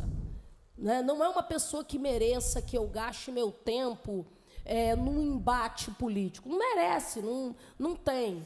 É, na verdade, eu até percebi que quando vou para o embate com essa criatura, até a, a, a, a, minha fala ela fica um pouco reduzida. Eu gosto de debater com gente que tenha um preparo político. Não estou falando de preparo acadêmico, estou falando de preparo político. Você não tem. Você é politicamente falando, você pode ter 500 diplomas, só que politicamente falando, você é um cara grotesco. O que você acabou de fazer aqui foi uma coisa desrespeitosa, grotesca e gratuita. Porque você veja, eu te ignoro, eu não te citei, eu não falei com você, eu não falo com você, eu não toco no seu nome, eu não me refiro a você. Você, para mim, não é nada. É apenas mais alguém que está aqui junto comigo no exercício parlamentar. E você foca a sua ação parlamentar em mim. Você não consegue um dia vir aqui no microfone e não me citar, e não pegar um pedaço da minha fala para poder replicar e querer criar um embate comigo. Só que, deixa eu te falar uma coisa. Para você criar um embate comigo, você tem que comer muito feijão farinha, rapaz. Você é muito fraquinho, cara. Você é muito fraquinho. Você é um beberrão. Um, um, um moleque de briga de rua que você é. Olha o que, que vocês fizeram na eleição de Niterói pegaram 500 mil reais em dinheiro vivo dentro de um carro alugado pelo poder público do Estado, que você é base e que eu sou oposição. Tinha santinho do teu irmão e você ficou botando fake news na rua, dizendo que era o presidente da casa, que era aliado do Rodrigo, fazendo ilações. Você sabe que você fez isso. Deixa de ser moleque. É, continuando aqui, é, os temas, eu, no, nos poucos minutos que eu tenho Obrigada, ainda, deputada. imagina, deputada Verônica, conte sempre comigo.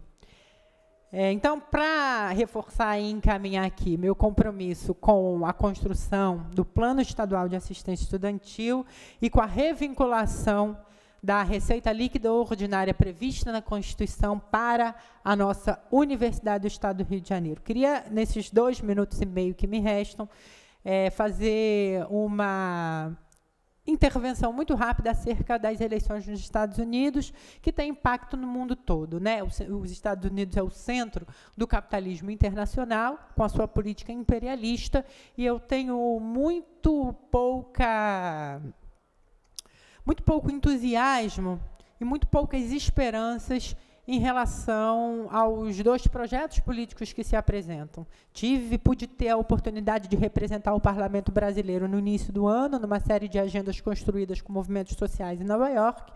E a situação das trabalhadoras e dos trabalhadores é de avanço da precarização. Hoje mesmo nós fizemos uma audiência pública que tratava da precarização dos trabalhadores com a conivência não só do parlamento, como dos governos estaduais e de alguns governos é, federais, e um cenário de aumento do desemprego, da informalidade e de ataque sistemático à autonomia de diversos países, como nós observamos o apoio incondicional bilionário de Washington a Israel, que empreende um genocídio contra a Palestina e contra os povos libaneses, e eu digo, falo isso de cadeira porque tenho ascendência judaica e sei que o Estado de Israel é um Estado criminoso, um Estado que promove o assassínio de milhões e milhões de pessoas. Porém, nós estamos lutando contra um inimigo muito grande, um inimigo que é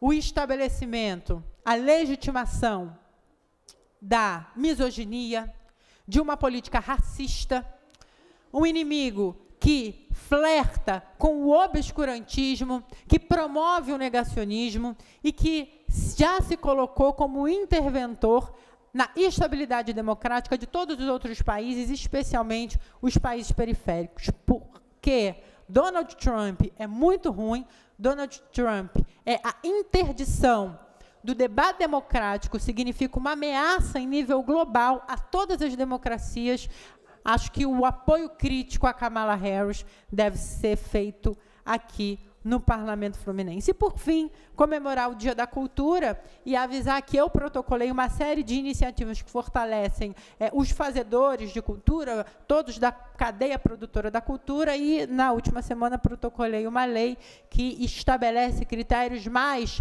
nítidos, transparentes, para a dotação orçamentária é, destinada a manifestações culturais de diversas linguagens que promovem a cidadania de pessoas LGBTQIPNBA+, de mulheres, de negros, cumprindo aqui o compromisso que eu assumi durante a campanha que me trouxe a esse parlamento, de fazer com que a cultura, e eu, enquanto roteirista, que vivo de cultura também, seja um instrumento de emancipação daquelas e daqueles que fazem cultura, que enriquecem esteticamente a produção fluminense e que precisam de mecanismos através do poder público que efetivem a reparação histórica e caminhem para a continuidade da qualidade da cultura popular do Estado do Rio de Janeiro. Muito obrigada, presidenta.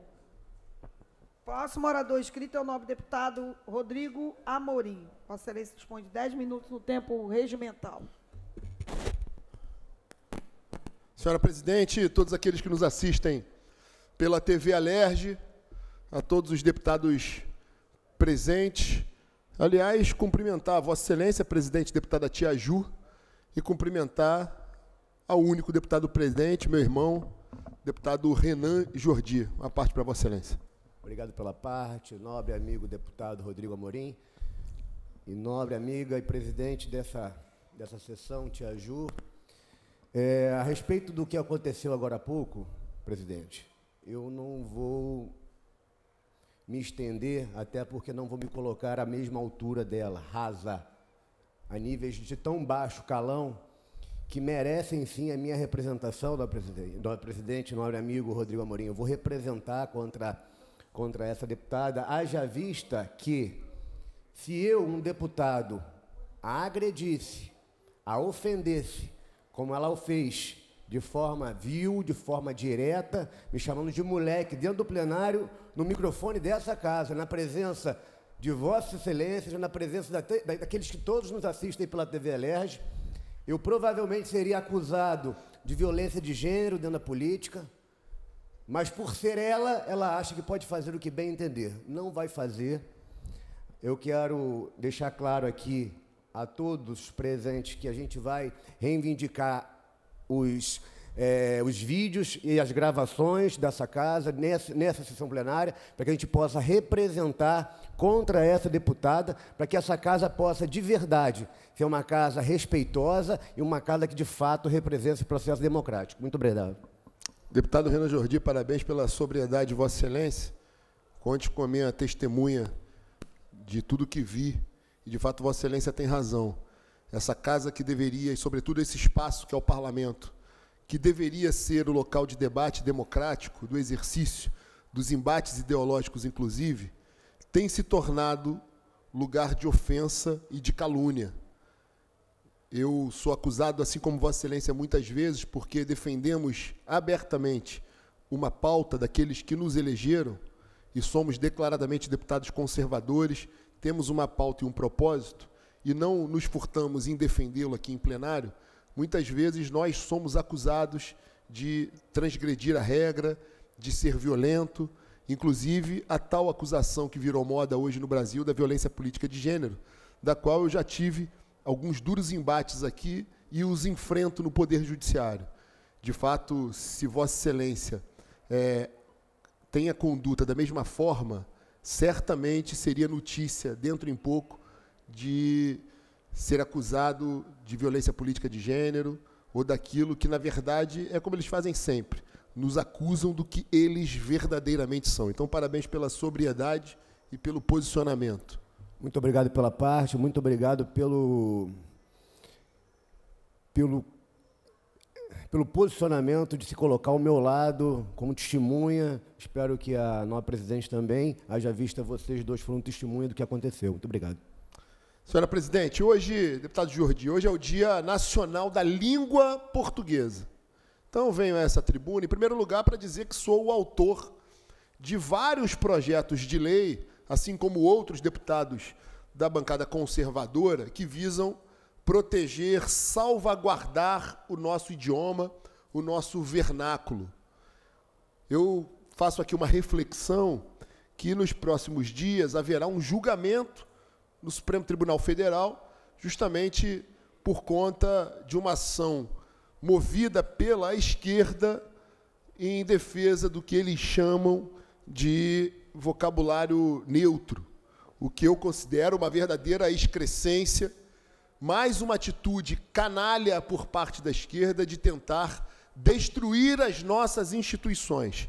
Isso, obviamente, faz parte da estratégia da guerra cultural, querem afrontar as igrejas, a religião, querem afrontar as instituições, a família e utilizam os meios educacionais, mais especialmente as escolas, as escolas de segundo grau e, sobretudo, o ambiente universitário, com estudantes, infelizmente, lobotomizados, com indivíduos que estão ali para deturpar todo o ambiente de criação de conteúdo, de pesquisa, de inovação e de contribuição científica para o desenvolvimento é, do, do Brasil e do Rio de Janeiro, e transformaram aquele local no local de balbúrdia, no local de consumo de drogas, numa verdadeira cracolândia, que foi o que se tornou as universidades no estado do Rio de Janeiro.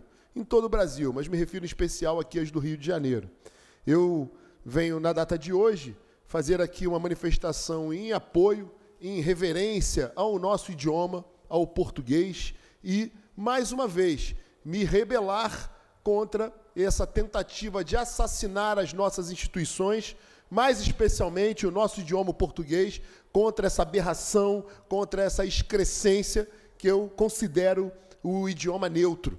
Uma tentativa de assassinar a nossa cultura e assassinar o nosso idioma, tentando lobotomizar as nossas crianças, tentando fazer uma lavagem cerebral nas pessoas, como se existisse essa aberração, essa pouca vergonha, essa excrescência que é esse idioma neutro, que visa idiotizar e destruir as nossas tradições, a nossa cultura e o nosso português. Então, viva o idioma português, viva a língua portuguesa e contra, de uma vez por todas, é, esse idioma neutro e que fiquemos acompanhando de olhos bem abertos e atentos para essa votação que se aproxima no Supremo Tribunal Federal. O curioso é que durante os debates por ocasião da eleição, eu me referi ao vice-prefeito eleito, diz, um, diz ser um deputado, mas nunca apareceu nessa casa.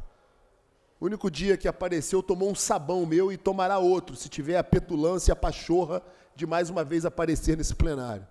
E eu me referi a esse indivíduo como um menine, utilizando o idioma neutro. E aí fui criticado, inclusive por boa parte da imprensa, dizendo que eu estava sendo homofóbico. Em primeiro lugar, que eu não sei exatamente o que ele é ou o que ele pensa que é, porque como ele se considera, porque essa turma ligada ao prefeito, eles têm é, essa dificuldade de autoentendimento da sexualidade, que, por sinal, não diz respeito a nós. Todo mundo aqui é livre para interpretar e exercer a sua sexualidade como bem entenda. Mas, de fato, eu me referi ao tal indivíduo como menine, primeiro para utilizar a linguagem que eles usam, eles da esquerda, e depois porque tem dificuldades mesmo de compreender como ele se enxerga. Em respeito a ele, eu utilizei o idioma neutro, é, o chamando de menine. Agora, o fato é que isso, por mais que tenha sido ali um exercício retórico de minha parte, é um absurdo, é um assassinato das nossas tradições, da nossa cultura e do nosso idioma, a língua portuguesa. Hoje, dia 5 de novembro, é o dia da língua portuguesa e fica aqui o nosso respeito ao nosso vernáculo, ao nosso idioma, a língua portuguesa e o nosso repúdio a essa tentativa vil, covarde e orquestrada pela esquerda de tentar assassinar as nossas instituições e as nossas tradições. Muito obrigado, presidente. Não havendo mais oradores inscritos, a presidência declara encerrada a presente sessão, desejando a todos um ótimo final de tarde.